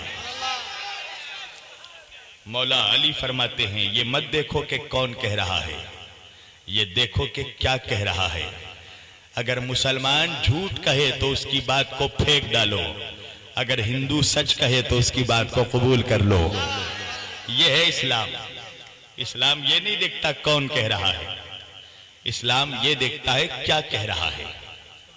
तबलीगी जमात के अमीर है मौलाना तारिक जमीर साहब पाकिस्तान वो कहते हैं अपनी तकरीर में कि जब तक मैंने यह हदीस नहीं पढ़ी थी मनकुन तुम मौला हो फहाजा अली मौला तब तक मैं उनको हजरत अली कहता था मगर जब मैंने यह हदीस पढ़ ली तो अब मैं उन्हें हजरत अली नहीं मौला अली कहता हूं अफसोस यही है तारिक जमील को समझ में आ गया मगर हिंदुस्तान के मुफ्ती जलील को अब तक समझ में नहीं आया कि अली मौला है? जब इस हदीस का इनकार नहीं कर सका तो तर्जुमे में डंडी मार दी इसीलिए मुसलमान हर जगह डंडा खा रहा है कि अहल बैत के मसले पे डंडी मार देता है, ये वो हदीस है गदीर की हदीस नबी ने एक लाख छब्बीस हजार साहबा के दरमियान अली को हाथों पे उठाकर कहा मैं जिस जिस का मौला अली उस उसका मौला और सबसे पहले हजरत अबू बकर उमर उस्मान बढ़े और अली के हाथ में हाथ रखकर हजरत उमर का जुमला है कहते हैं अली मुबारक हो आज से आप मेरे भी मौला हैं और तमाम मोमिनीन और मोमिनात के मौला हैं और ये वो हदीस है कि जिसे एक दो नहीं अठारह हजार साहबा कराम ने रिवायत किया है एटीन थाउजेंड अठारह हजार साहबा कराम रिजवान तजमैन ने इस हदीस को रिवायत की है गदीर की हदीस इमाम अहमद बिन हम्बल से लेकर जलालुद्दीन सयुदी तक अकाबरीन अहले सुन्नत ने इस हदीस को लिखा कि नबी ने फरमाया मैं जिस जिस का मौला अली उस उसका मौला और जब यह हदीस बयान करने लगे तो सुनो तारिक जमील साहब का जुमला अल्लाह सलामत रखे ऐसे उलमा को चाहे वो जिस फिरके से भी हो मैं उन्हें उलमाए इस्लाम की निगाह से देखता हूं वो कहते हैं कि मौला के माने दोस्त के नहीं है जब मौलवी डंडा मार देता है ना मौला के माने दोस्त के हैं यानी बिल्ला नबी कह रहे मैं जिस जिसका दोस्त अरे भयानक खतरनाक चेहरे वाले नबी तेरे दोस्त हैं नबी तेरे फ्रेंड हैं किसी मौलवी से पूछिए नबी तेरे फ्रेंड हैं तेरे दोस्त हैं नबी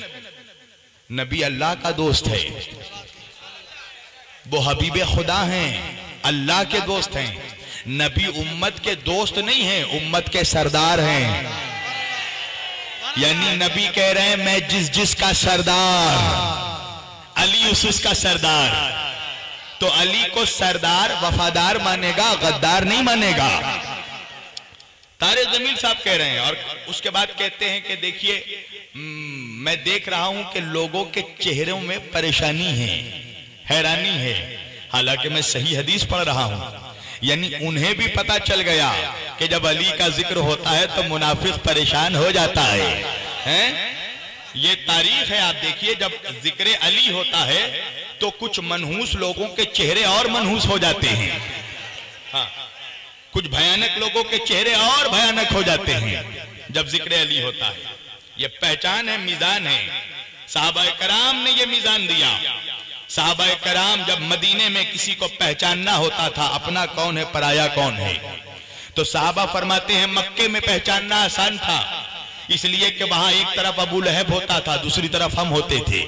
एक तरफ अबू जहल होता था दूसरी तरफ हम होते थे एक तरफ अबू सुफियान होता था दूसरी तरफ हम होते थे एक तरफ अतबाउ शैबा होता था दूसरी तरफ हम होते थे मगर मदीने में पहचानना मुश्किल था इसलिए कि यहाँ सब मुसलमान सब नमाजी सब हाजी सब हाथों में तस्वीर लेकर घूमने वाले सब अबाओ कबाओ अमामा और दस्तार और लंबी दाढ़ी रखने वाले यहाँ पहचानना मुश्किल होता था तो साहबा फरमाते हैं कि जब हमें मदीने में पहचानना होता था अपना कौन है पराया कौन है गद्दार कौन है वफादार कौन है तो हम लोग जिक्र अली करते थे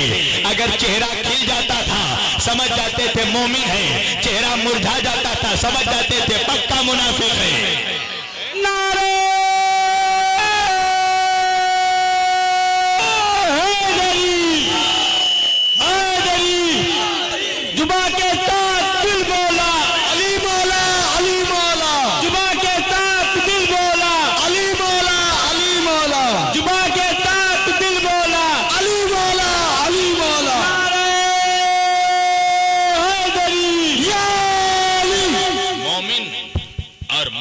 के दरमियान जो मीज़ान है उस मीज़ान को अली कहते हैं अल्लाह के रसूल फरमाते हैं ए अली ए अली तू अपनी तलवार से किसी मोमिन की नाक भी काट दे तो वो तुझसे दुश्मनी नहीं करेगा और ए अली तू अगर किसी मुनाफिक को ओहद के पहाड़ के बराबर सोना भी खैरात में दे दे तो वो तुझसे मोहब्बत नहीं करेगा इसलिए कि यह अल्लाह का कानून है अल्लाह का इरादा है कि तुझसे मोहब्बत फकत मोमिन करेगा और तुझसे दुश्मनी फकत मुनाफिक रखेगा है तो यहां तो कोई बात नहीं है यहां तो बात अली की हो रही है यहां तो बात अहले बैत की हो रही है जिसे नबी अपने हाथों पर उठाए जिसे नबी अपने कांधों पर बैठाए तवज्जो क्या अजमत है बाप को हाथों पे उठाया और बेटों को कांधों पर बिठाया अल्लाह अकबर लाओ कोई ऐसा घराना लाओ ऐसी शख्सियतें तुम किस तरह अली का मुकाबला करवाते हो किसी से अली का मुकाबला नबी के बाद किसी से हो ही नहीं सकता इसलिए कि अगर मुकाबला करवाओगे तो सबसे पहले खानदान में मुकाबला करवाना पड़ेगा तो जैसा अली का खानदान वैसा खानदान किसी का नहीं जैसा अली का हसब वैसा हसब किसी का नहीं जैसा अली का नसब वैसा नसब किसी का नहीं जिस गोद में अली पले उस गोद में कोई और नहीं पला अली के अलावा किसी ने नबी की जुबान नहीं चूसी तवज्जो कीजिएगा अली के अलावा ना कोई काबे में पैदा हुआ काबा तो काबा कोई गोंडा की मस्जिद में भी नहीं पैदा हुआ कहां से मुकाबला लाओगे ना विलादत का मुकाबला ना शहादत का मुकाबला जो पैदा हो तो काबे में जो शहादत पाए तो मस्जिद कुफा में कौन मुकाबला कर सकता है उस अली का जिसकी इब्तदा अल्लाह के घर से जिसकी इंतहा अल्लाह के घर पर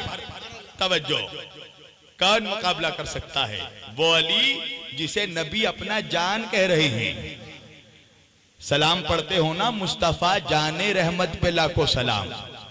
तो जरा पूछना भी मौलवी साहब से कि ये जाने रहमत है कौन ये जो सलाम पढ़ रहा है मुस्तफ़ा जाने रहमत तो रहमत तो खुद मुस्तफ़ा है तो मुस्तफ़ा की जान कौन है तो जाकर देख मुबाहले के मैदान में जब नजरान के ईसाई पादरियों से मुकाबला हुआ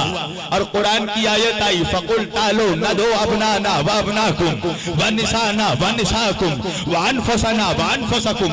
सुम्मा न तहिल फनज अल्लाह न तल्ला है काजबीन ए मेरे हबीब इनसे कहो लाओ तुम अपनी औलादों को हम अपनी औलादों को लाते हैं लाओ तुम अपनी औरतों को हम अपनी औरतों को लाते हैं लाओ तुम वन फोसाना वान फोसकुम लाओ तुम अपनी अपने जानों को अपने नफ्सों को और हम अपनी जानों को लाते हैं तो जब औलाद की बात आई तो नबी किसी और की औलाद को लेकर नहीं निकले फकत अली के बेटों को लेकर निकले फकत हसनैन करीमैन को लेकर निकले जब बात औरतों की आई तो किसी और औरत को लेकर नहीं गए फकत फातिमा जहरा को लेकर गए और जब बात जानों की आई तो किसी और को नहीं अली या मुर्तजा को लेकर गए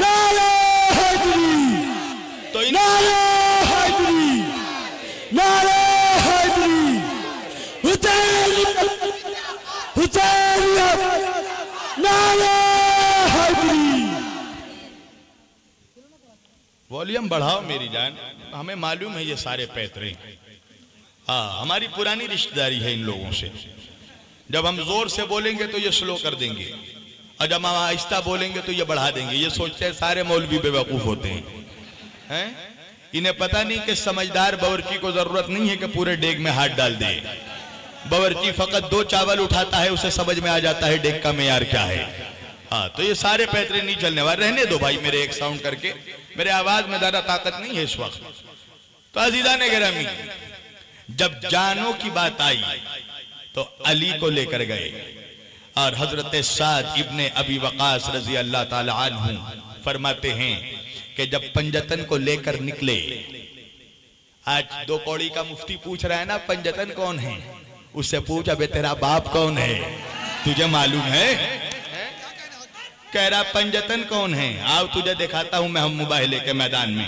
रसूल अल्लाह निकले घर से एक तन नबी के साथ अली निकले दो तन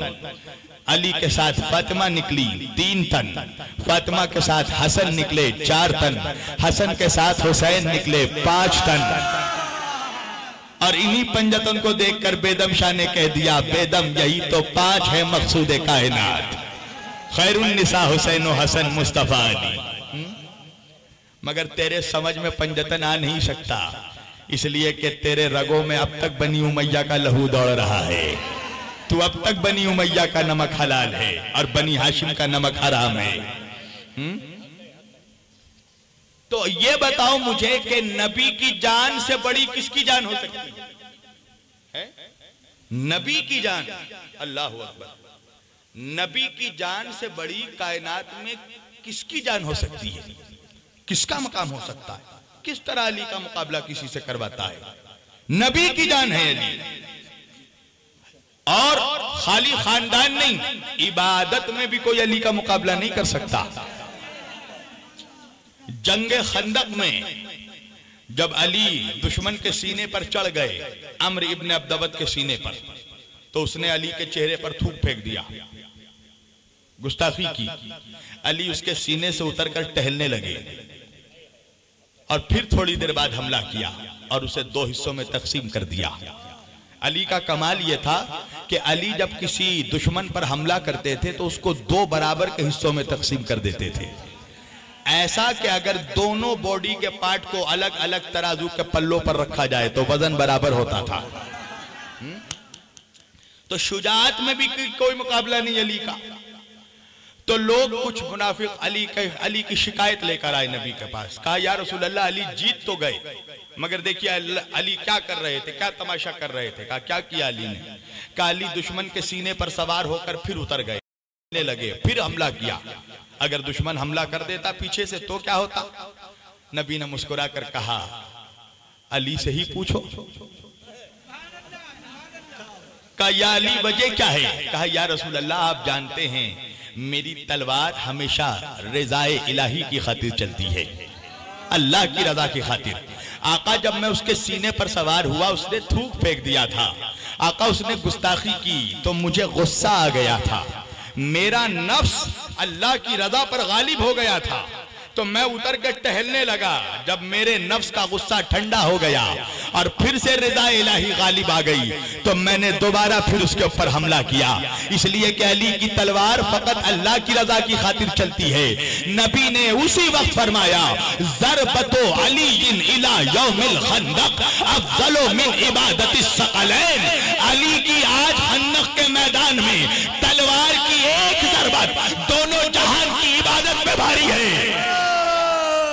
सोचो जिसकी तलवार का एक बार दोनों जहान की इबादतों पर भारी हो अल्लाह जाने उसका खुद मकाम क्या होगा उसका खुद का वजन क्या होगा तवज्जो तो बाप को हाथों पे उठाया और बेटों को कंधों पर बिठाया अच्छा मुसलमानों की भी मजबूरी है हर चीज तुम्हें खोल खोल के समझाना पड़ता है इसलिए कि ग्यारह महीने मौलवी तुम्हें वो डालडा खिलाता है कि जब हम मुहर्रम में हुसैन के गुलाम तुम्हें प्योर घी खिलाते हैं तो हाजमा खराब हो जाता है, है? मौलवी परेशान तो इसीलिए हो जाता है कि ग्यारह महीने तो हम एक ही स्लोगन लगाते हैं गली गली एक ही स्लोगन लगाते हैं ये एक महीने में क्या हो जाता है कि जिस गली से देखो या हुसैन जिस शहर में देखो या हुसैन है तो यह बनी उमैया की औलादें आज भी जो अपने बिलों में छुपी हुई हैं इनके पेट में मरोड़ पैदा हो जाता है कि हमारे बाप का नाम कोई नहीं लेता जिसे देखो हुसैन का नाम है जिसको देखो अली का नाम अच्छा जो यजीदी है वो भी नहीं कह सकता कि हम यजीदी हैं तवज्जो हुसैनी बीच चौराहे पे सीना चौड़ा करके कहता है कि हम हुसैनी हैं है? यजीद का चाहने वाला पहाड़ों के अंदर छुप कर भी नहीं कह सकता कि वो यजीदी है हम तो गुंबदों में खड़े होकर कह सकते हैं कि हुसैनी है आओ तुम्हें खोल खोल कर कुछ दिखाता हूँ मेरी बातों से तकलीफ तो नहीं हो रही है कुछ हाँ मेरा भी मिजाज है मैं फितरा चंदा पे तकरीर नहीं करता बहुत मिलेंगे फितरा और चंदा और जक़ात पे बोलने वाले मैं सिर्फ हुसैन पे बोलता हूँ मैं सिर्फ अली पे बोलता हूँ हम्म, मैं सिर्फ पहले बैत पे बोलता हूँ आओ खोल खोल कर दिखाता हूं तुम्हें ईद का दिन आने वाला है अरब के दो सबसे बड़े बच्चे नहीं यह गलत जुमला है अरब के नहीं कायनात के दो सबसे बड़े बच्चे कौन बच्चे हसनैन करीमैन सैयदैन नैयारैन शरीफैन किबलातैन हरामैन सैयदैन इमामैन हसनैन करीमैन सैयदैन नैयरैन शरीफैन किबलतैन इमामैन हरामैन इमामैन सैयदैन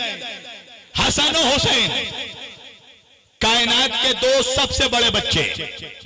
किसके सामने खड़े हैं कायनात की सबसे बड़ी माँ के सामने तवज्जो सैयदा फातमा जहरा सलाम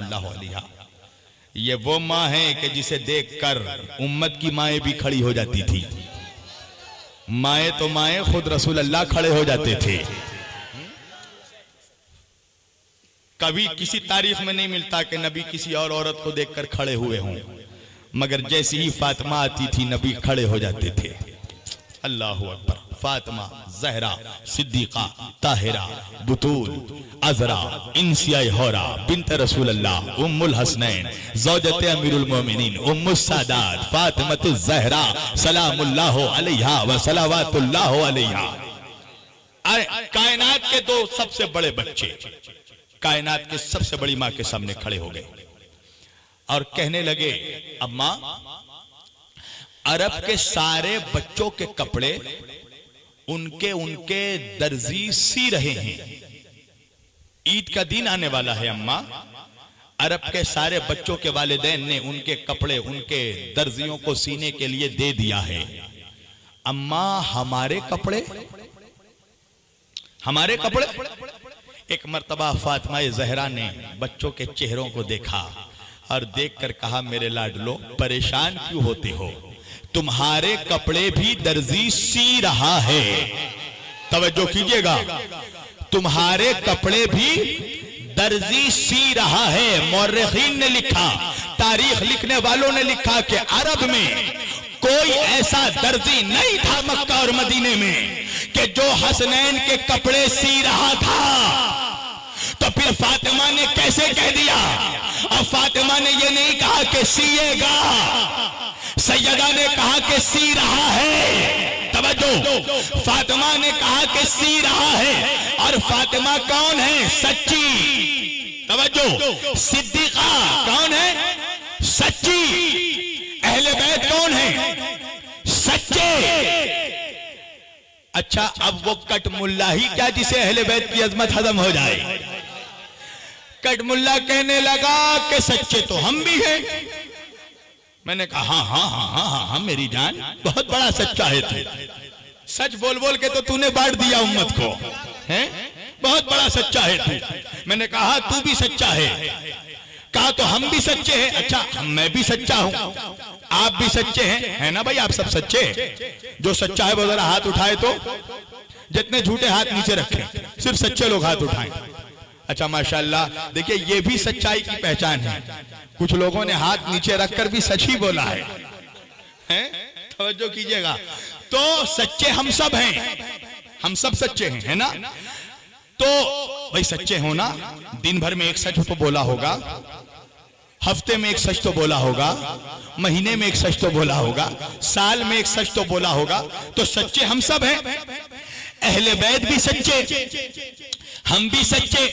मौलवी साहब कहने लगे जब वो भी सच्चे हम भी सच्चे तो हम में और उनमें फर्क क्या है मैंने कहा हम में और उनमें वही फर्क है जो तहारत में और निजासत में फर्क है जो आसमान में और जमीन में फर्क है जो रोशनी में और अंधेरे में फर्क है कहा क्या मतलब मैंने कहा सुन हम भी सच्चे अहले बैत भी सच्चे तो कहा फर्क क्या है मैंने कहा हमारे सच्चे होने में और अहले बैत के सच्चे होने में एक बहुत बड़ा फर्क है कहा कैसा फर्क है मैंने कहा सुन हम कैसे सच्चे कहा कैसे सच्चे कहा हम ऐसे सच्चे कि जो हो जाए वो कह दे तवज्जो हम कैसे सच्चे जो हो जाए वो कह दे अहले बैत कैसे सच्चे जो कहते वो हो जाए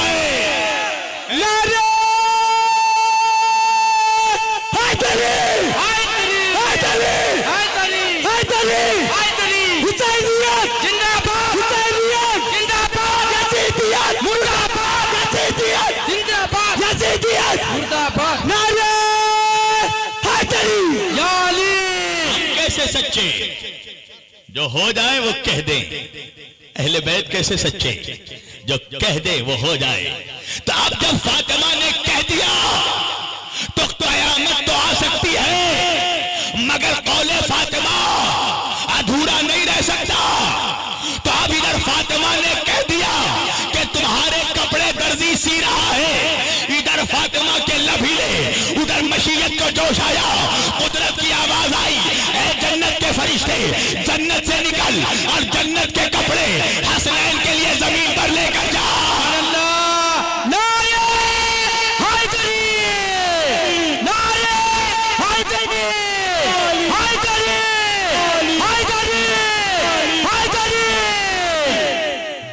का फरिश्ता रिजवान जन्नत कपड़े लेकर आया हसन के लिए शब्द जोड़ा बड़े नवासे के लिए सब्ज जोड़ा हुसैन के लिए सुर्ख जोड़ा कपड़े लेकर आ रहा है दर्जी हसनैन के लिए कपड़े आ रहे हैं नहीं पहुंचा मेरा मजमा अल्लाह जाने गोंडा वाले कहां सोए हुए हैं कपड़े आ रहे हैं सवाल यह है कि कहां से आ रहे हैं लंदन से आ रहे हैं स्पेन से आ रहे हैं बार्सिलोना से आ रहे हैं एम्स्टरडेम से आ रहे हैं से आ रहे हैं जर्मनी से आ रहे हैं न्यूजीलैंड से आ रहे हैं नेदरलैंड से आ रहे हैं अमेरिका से कहा से कहा जन्नत से कपड़े आ रहे हैं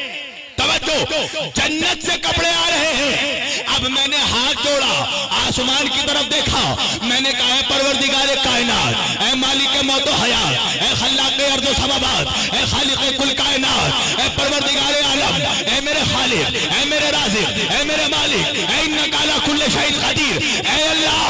अल्लाह परवरदिगार लन तजिदा ले सुन्नत अल्लाह तब्दीला परवरदिगार तेरे कानून में तब्दीली नहीं होती तेरा कानून नहीं बदलता तेरा निजाम नहीं बदलता मौसम चेंज नहीं होता अरे तेरा कानून कोई हिंदुस्तान का पार्लियामेंट हाउस तो नहीं है कि हर पांच साल में नई हुकूमत आए नया बिल पास करके नया कानून ला दिया जाए परवरदिगार ये बंदों का कानून नहीं है ये इलाही कानून है मालिक तेरा कानून नहीं बदलता तेरे कानून में तब्दीली नहीं आती कहा हा, हा, नहीं बदलता मैंने कहा जब नहीं बदलता तो आज कैसे बदल गया तो यहाँ वाले मेरी तरफ देखो मैंने कहा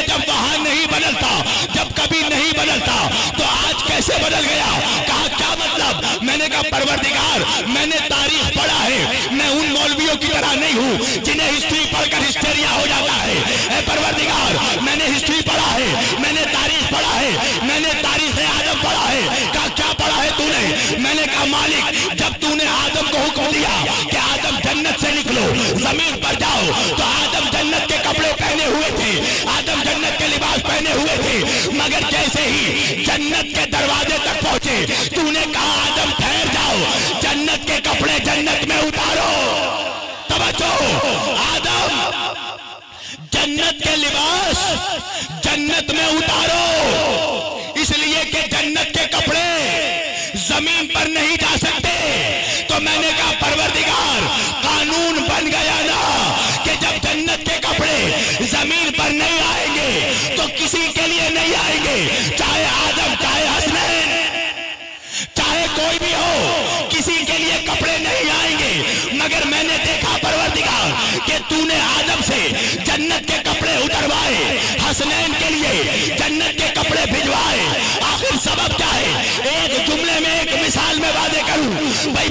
बंदा आया हूँ तुम्हारा मेहमान हूँ ना बंगाल से आया हूँ कलकत्ते से आया हूँ तो तुम मेहमान नवाजी करोगे ना मेहमान का इस्तेमाल करना नबी की सुन्नत अहले बैल की सुन्नत तो तुमने मेरा इस्तेमाल किया ना तुमने मुझे कहीं पे ठहराया ना भाई मुझे नवाब भाई ने अपने घर में ठहराया अपने कमरे में ठहराया जब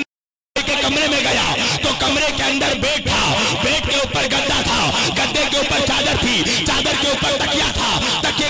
में कंबल था तो जब मैं उनके कमरे में गया तो उनके गद्दे का भी इस्तेमाल किया उनके चादर का भी इस्तेमाल किया उनके बेड पे भी बैठा उनके तकिए पे सर भी रखा उनका कंबल भी ओढ़ा उनके घर का भी इस्तेमाल किया मगर इंसाफ से बताओ जब मैं यहाँ से लौट कर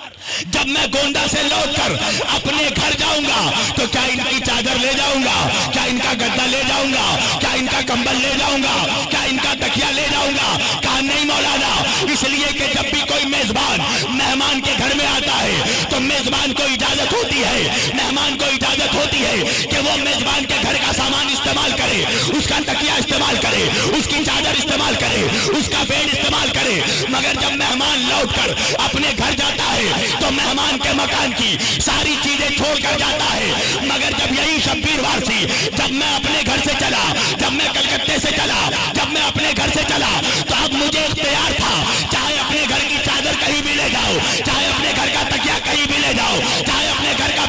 भी ले जाओ चाहे अपने घर का कंबल कहीं भी ले जाओ इसलिए कि मैं अपने घर में मेहमान नहीं था अपने घर का सरदार हूँ तो भाई बात समझ में आ गई जुमला तमाम होने दो बात समझ में आ गई जो जन्नत का मेहमान था उसे कपड़े उतरवाए जो जन्नत का सरदार था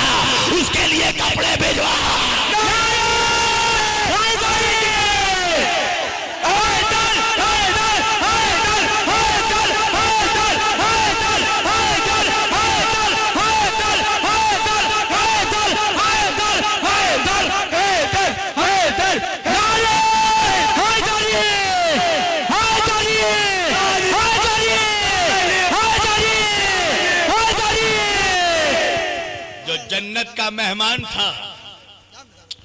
उससे कपड़े उतरवाए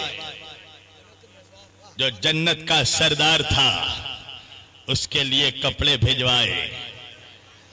और मौलवी तो जन्नत के लिए ही तड़प रहा है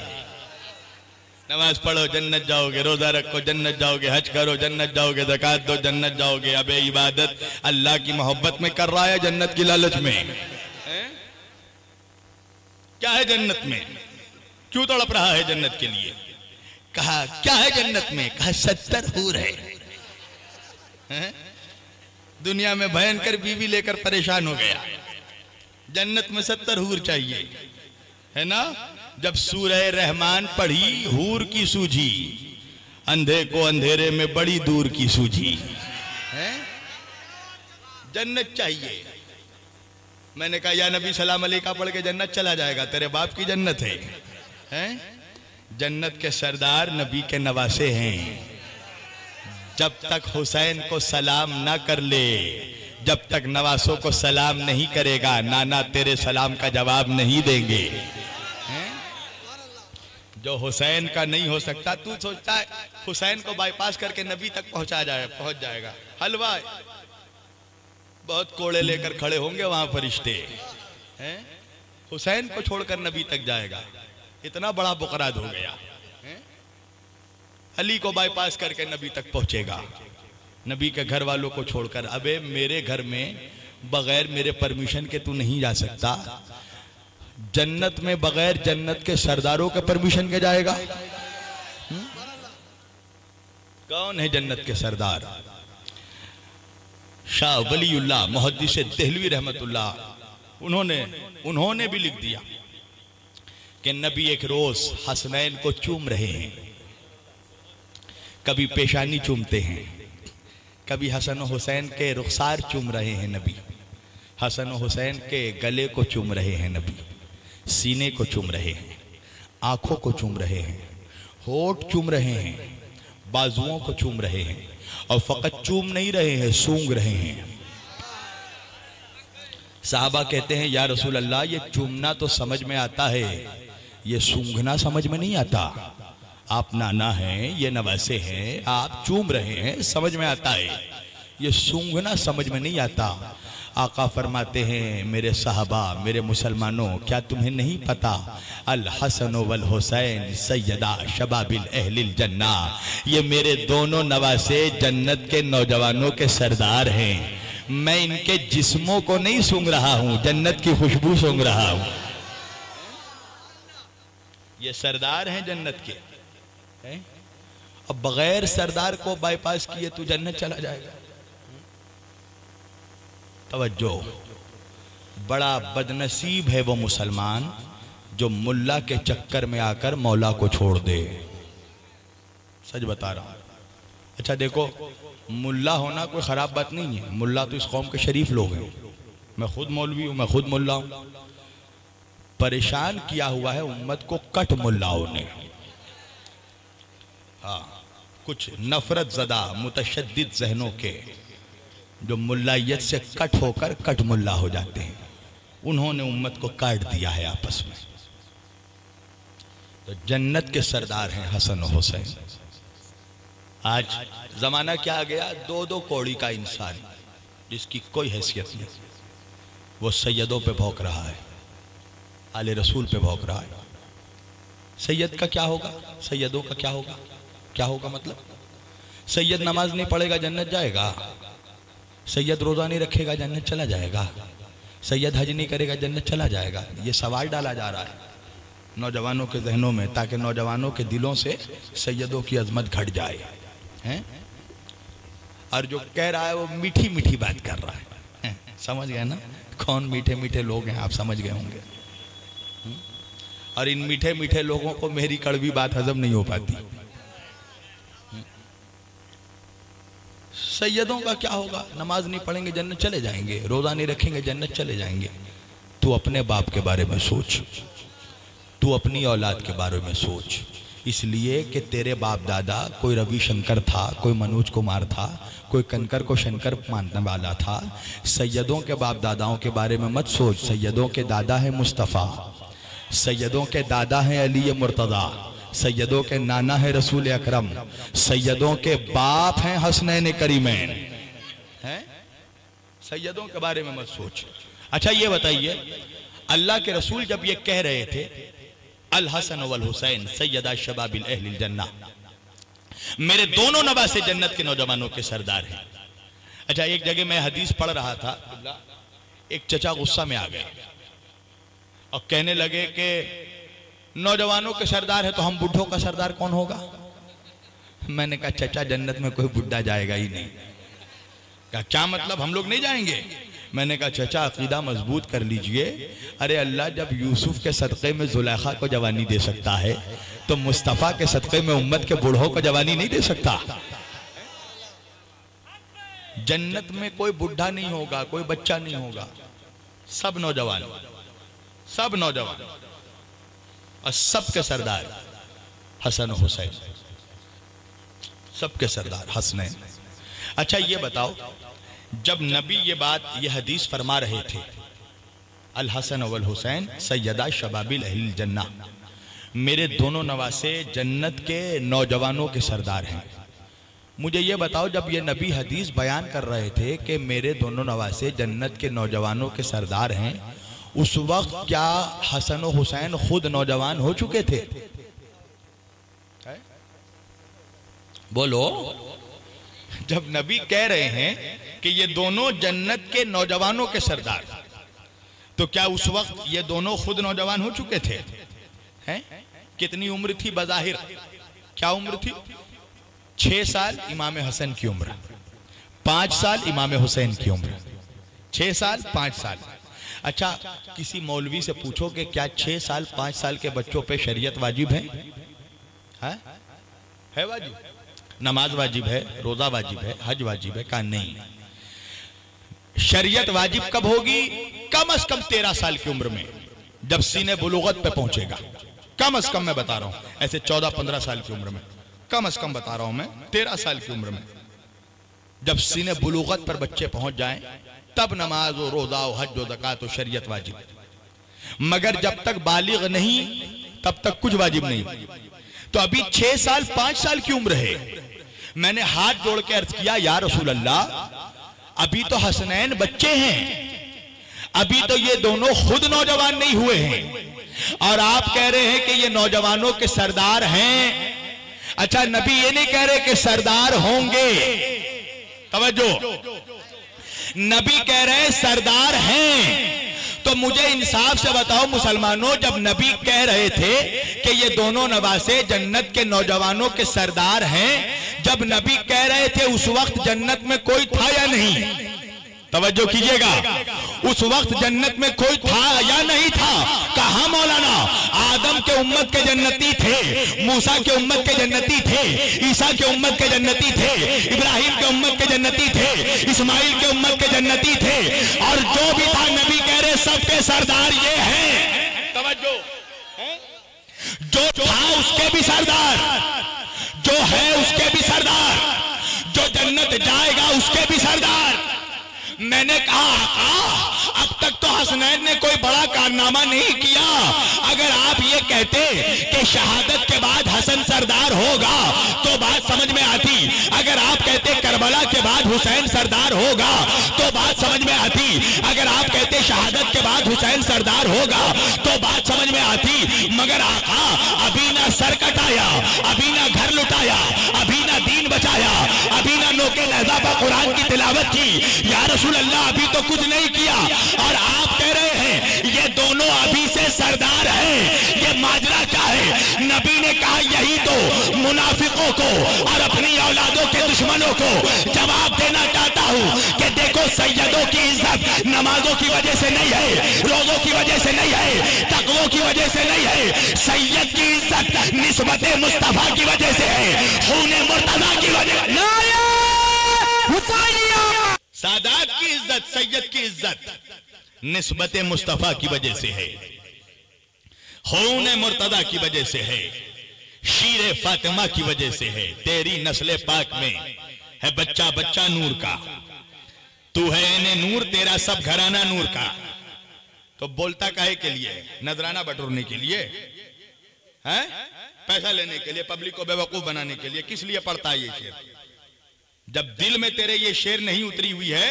तो खाली पैसा बनाने के लिए हुसैनियों का माल लपेटने के लिए तो जब दिल में कह रहा है मुंह से कह रहा है कि नूर है तो दिल से भी मान के नूर है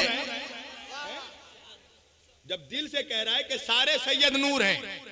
तो दिल से भी मान के नूर हैं अच्छा नमाज में दरूद क्या है नमाज में क्या पढ़ते हो दरूद पढ़ते हो ना नमाज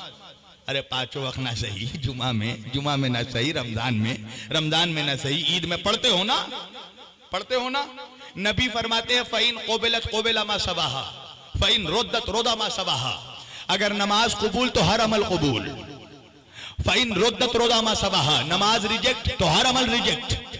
और नमाज एक्सेप्ट तो हर अमल एक्सेप्ट नमाज कबूल तो रोजा कबूल नमाज कबूल तो हज कबूल नमाज कबूल तो जकत कबूल नमाज कबूल तो तकबा कबूल सब कबूल अगर नमाज कबूल पता चला नमाज पढ़ना जरूरी नहीं है नमाज का कबूल होना जरूरी है है ना तो हर अमल को नमाज कबूल करवाती है तो फिर नमाज खुद कैसे कबूल हो तो इमाम शाफई रहमतुल्लाह फरमाते हैं अहले बैत मुस्तफ़ा आपकी अजमत के लिए यही काफी है कि किसी नमाजी की उस वक्त तक नमाज कबूल नहीं होती जब तक वो आप लोगों पर दरूद ना पड़ दे अजमत अजमत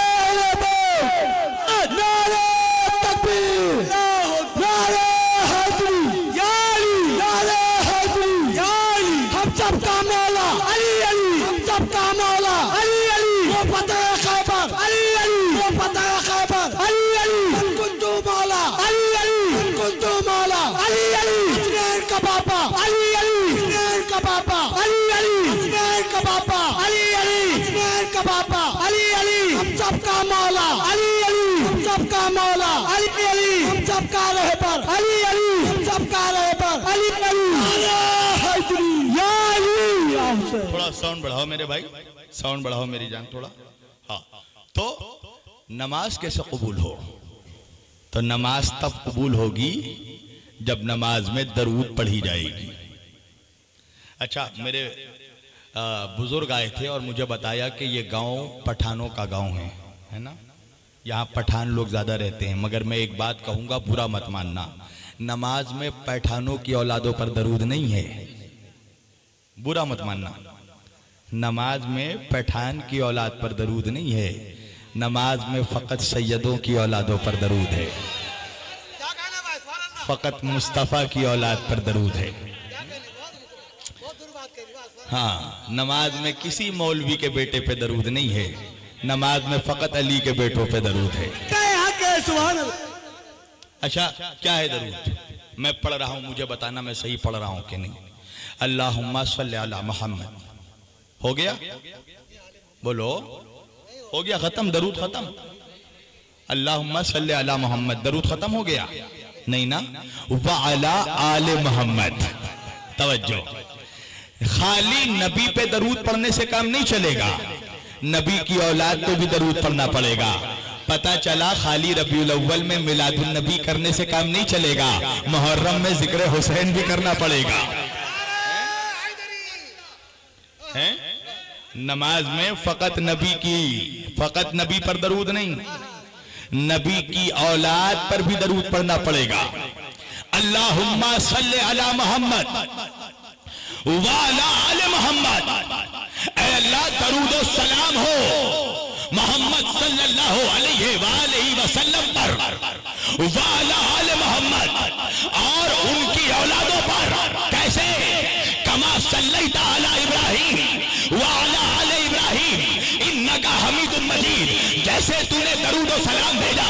इब्राहिम सलाम पर और उनकी औलादों पर अल्लाह बारिक अला मोहम्मद वाला आले मोहम्मद अल्लाह नाजिल हो मोहम्मद सल्लल्लाहु अलैहि वसल्लम पर और उनकी औलादों पर कैसे कमा बारक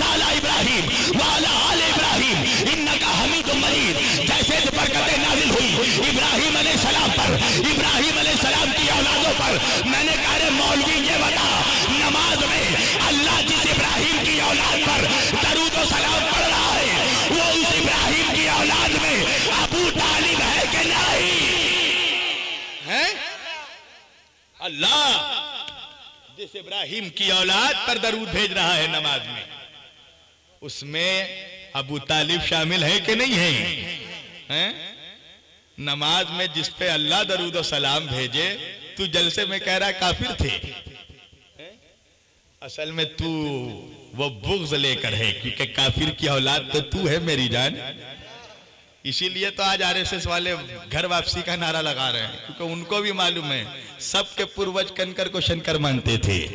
ये तो अली के बेटे ख्वाजा का एहसान है कि 360 बुताओं से हटे हटा कर तुम्हें खुदाए वाहिद की तरफ आशना करवा दिया है? ये तो एहसान है ख्वाजा का और ख्वाजा भी हिंदुस्तान में आकर फतवा देना शुरू कर देते तो कोई मुसलमान नहीं होता इस्लाम मौलवी के फतवों से नहीं फैला ख्वाजा के जलवों से फैला है आल रसूल के जलवों से फैला है नफरतों से नहीं फैला इस्लाम मोहब्बतों से फैला है इस्लाम समझा तो हसन हुसैन जन्नत के नौजवानों के सरदार हैं अल्लाह अकबर बस मैंने समेट दी अपनी तकरीर आज ऐसा दौर आ गया है ये अजीब फितने का दौर है आज जो भी अहले बैत का जिक्र करता है नबी के घर वालों का जिक्र करता है फौरन उस पर स्टैम्प लगा दिया जाता है बोले ये तो शिया हो गए ये तो राजी हो गए शब्बीर वारसी बहुत अली अली कर रहा है शिया हो गए अगर मौलवी मौलवी करे तो पक्का सुन्नी है और नबी के घर वालों का जिक्र करूं तो शिया राबजी है ना अच्छा आज एक बहुत जबरदस्त बिजनेस भी चला हुआ है बिजनेस क्या है जिसके बाप की थोड़ी दाढ़ी थी लंबी हाथ में तस्बी लेके तस्बी पड़ता था और मर गया तो उसके कब्र को मार्बल से सजा दिया जाता है मार्बल लगा के मोमबत्ती चिराग अगर अगरबत्ती लगा दिया और तस्बी लेकर बैठ गया सामने में एक डब्बा लोगों ने पूछा क्या हुआ बोले अल्लाह के वली थे अल्लाह के वली थे तवज्जो मार्बल लगा के बोल रहा अल्लाह के वली थे और ये जो छोटे मोटे बाबा हैं इनकी दरगाहें बहुत बन गई हैं आप लोग जानते हैं नन्ने शाह मुन्ने शाह तोता शाह सितारे शाह अंगारे शाह लोटा शाह नैना शाह मैना शाह सबकी दरगाह बन गई और इनकी इतनी करामतें हैं कि कई जिल्दों में किताब लिख दी जाए हैं और जब इनकी करामत बयान की जाती है जलसों से मैना शाह तोते शाह सितारे शांगारे शाह की तो सुननी हूं अगर मैं यहां से सितारे अंगारे की अजमत बयान करूं तो मैं सुननी और अगर शेर खुदा की अजमत बयान कर दूं तो राबजी है अच्छा छोटे मोटे बाबाओं की बात छोड़ो जो हकीकत में औलिया दीन है औलिया कराम है औलिया खुदा है उनकी बात करूं अगर मैं यहां से कहूं कि सरकार गौसुल आजम ने ठोकर मारा और मुर्दा जिंदा हो गया तो मैं सुन नहीं और अगर मैं कहूं कि अली ने ठोकर मार दिया मुर्दे को जिंदा कर दिया तो मैं शिया है ना अगर मैं कहूं कि ख्वाजा गरीब नवाज ने खड़ाउन मारा और खड़ाउन जपा जपाल जोगी को मारता हुआ हवा तक गया तो मैं सुन्नी और अगर कहूं कि अली ने कालीन को इशारा किया कालीन सलेमान को लेकर आसमान तक चला गया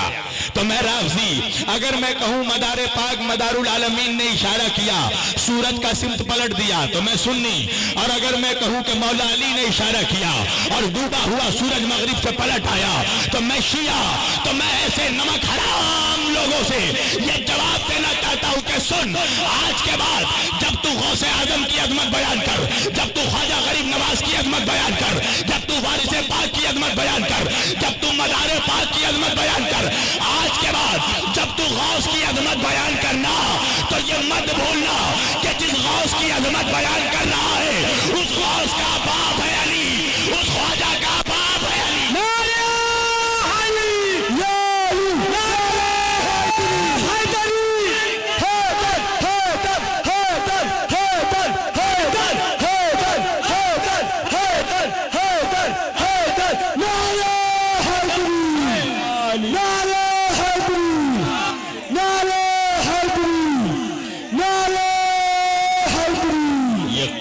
का इंतजाम है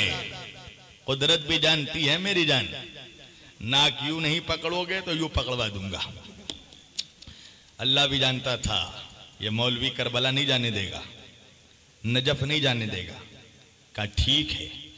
कुदरत ने भी कहा ठीक है करबला नहीं जाएगा मेरे हुसैन के दरवाजे पे मत जा नजफ नहीं जाएगा अली की चौखट पे मत जा करबला नहीं जाएगा तो क्या हुआ कलियर जाना होगा अजमेर जाना होगा बगदाद जाना होगा खिचौचा जाना होगा मेहरेरा जाना होगा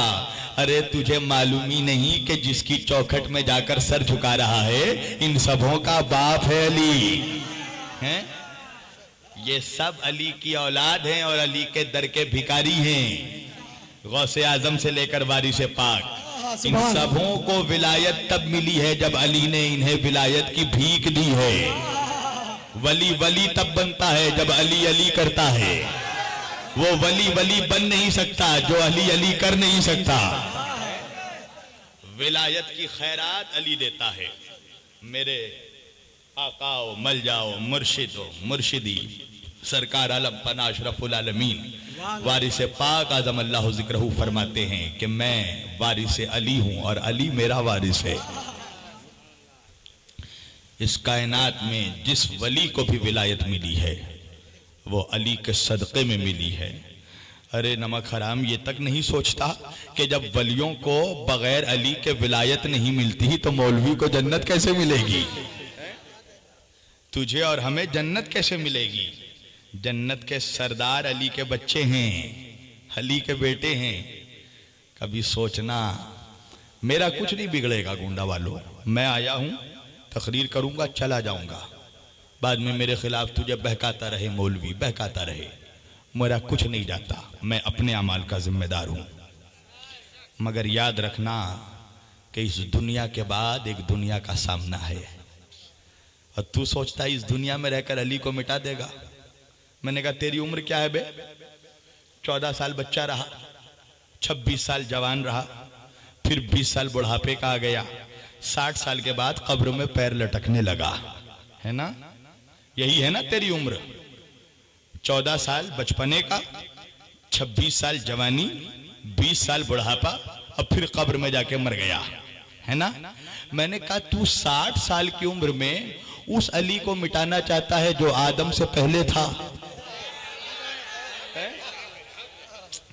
जिसके नूर की खिलकत आदम से पहले और जो कायनात के बाद में कभी सोचना जिस मुल्ला के चक्कर में तू मौला को छोड़ रहा है ना कब्र में नहीं आएगा वो जाके कभी डेढ़ सौ स्क्वायर फीट के कमरे में लाइट ऑफ करके देखना कैसा लगता है ये अंधेरा नहीं बर्दाश्त कर सकते तो सोचना दो फुट की कब्र में कैसे अंधेरा बर्दाश्त करोगे हैं मैशर के दिन क्या होगा जहां अट्ठारह हजार कायनात की मखलूक़त जमा होगी आदम से लेकर आखिरी आदमी तक भीड़ क्या होती है ना भीड़ कभी जाना जब हज में और जब लोग हजर अस्वद का बोसा लेने के लिए टूटते हैं उस वक्त समझ में आएगा भीड़ क्या होती है वो भीड़ देखना और समझना कि ये भीड़ मैशर की भीड़ के सामने कुछ नहीं है कयामत की भीड़ के सामने और कयामत के मैदान कौन सा मैदान जहां औलाद माँ बाप को नहीं पहचानेंगे माँ बाप औलाद को नहीं पहचानेगी शोहर बीवी को नहीं पहचानेगा बीवी शोहर को नहीं पहचानेगी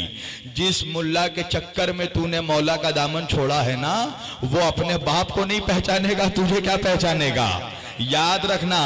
कब्र से लेकर हश्र तक अगर किसी का सिक्का चलेगा तो वो अली का सिक्का है वो हुसैन का सिक्का है वो पंजतन का सिक्का है लिहाजा सफर करना है उस दुनिया का तो ऐसी तैयारी करो कि उस दुनिया में कोई साथ देने वाला हो कोई हो जो हमें फरिश्तों के कोड़ों से बचा सके कोई हो जो हमें जहन्नम की आग से बचा सके नबी फरमाते हैं कि अली की मोहब्बत के रहते हुए अली की मोहब्बत गुनाहों को इस तरह खा जाती है जिस तरह आग लकड़ी को खा जाता है तवज्जो अली की मोहब्बत अहल बैत की मोहब्बत नबी फरमाते हैं इन्नल हुसैना मिसबाहुल हुदा व सफ़ी नतुलनिजाह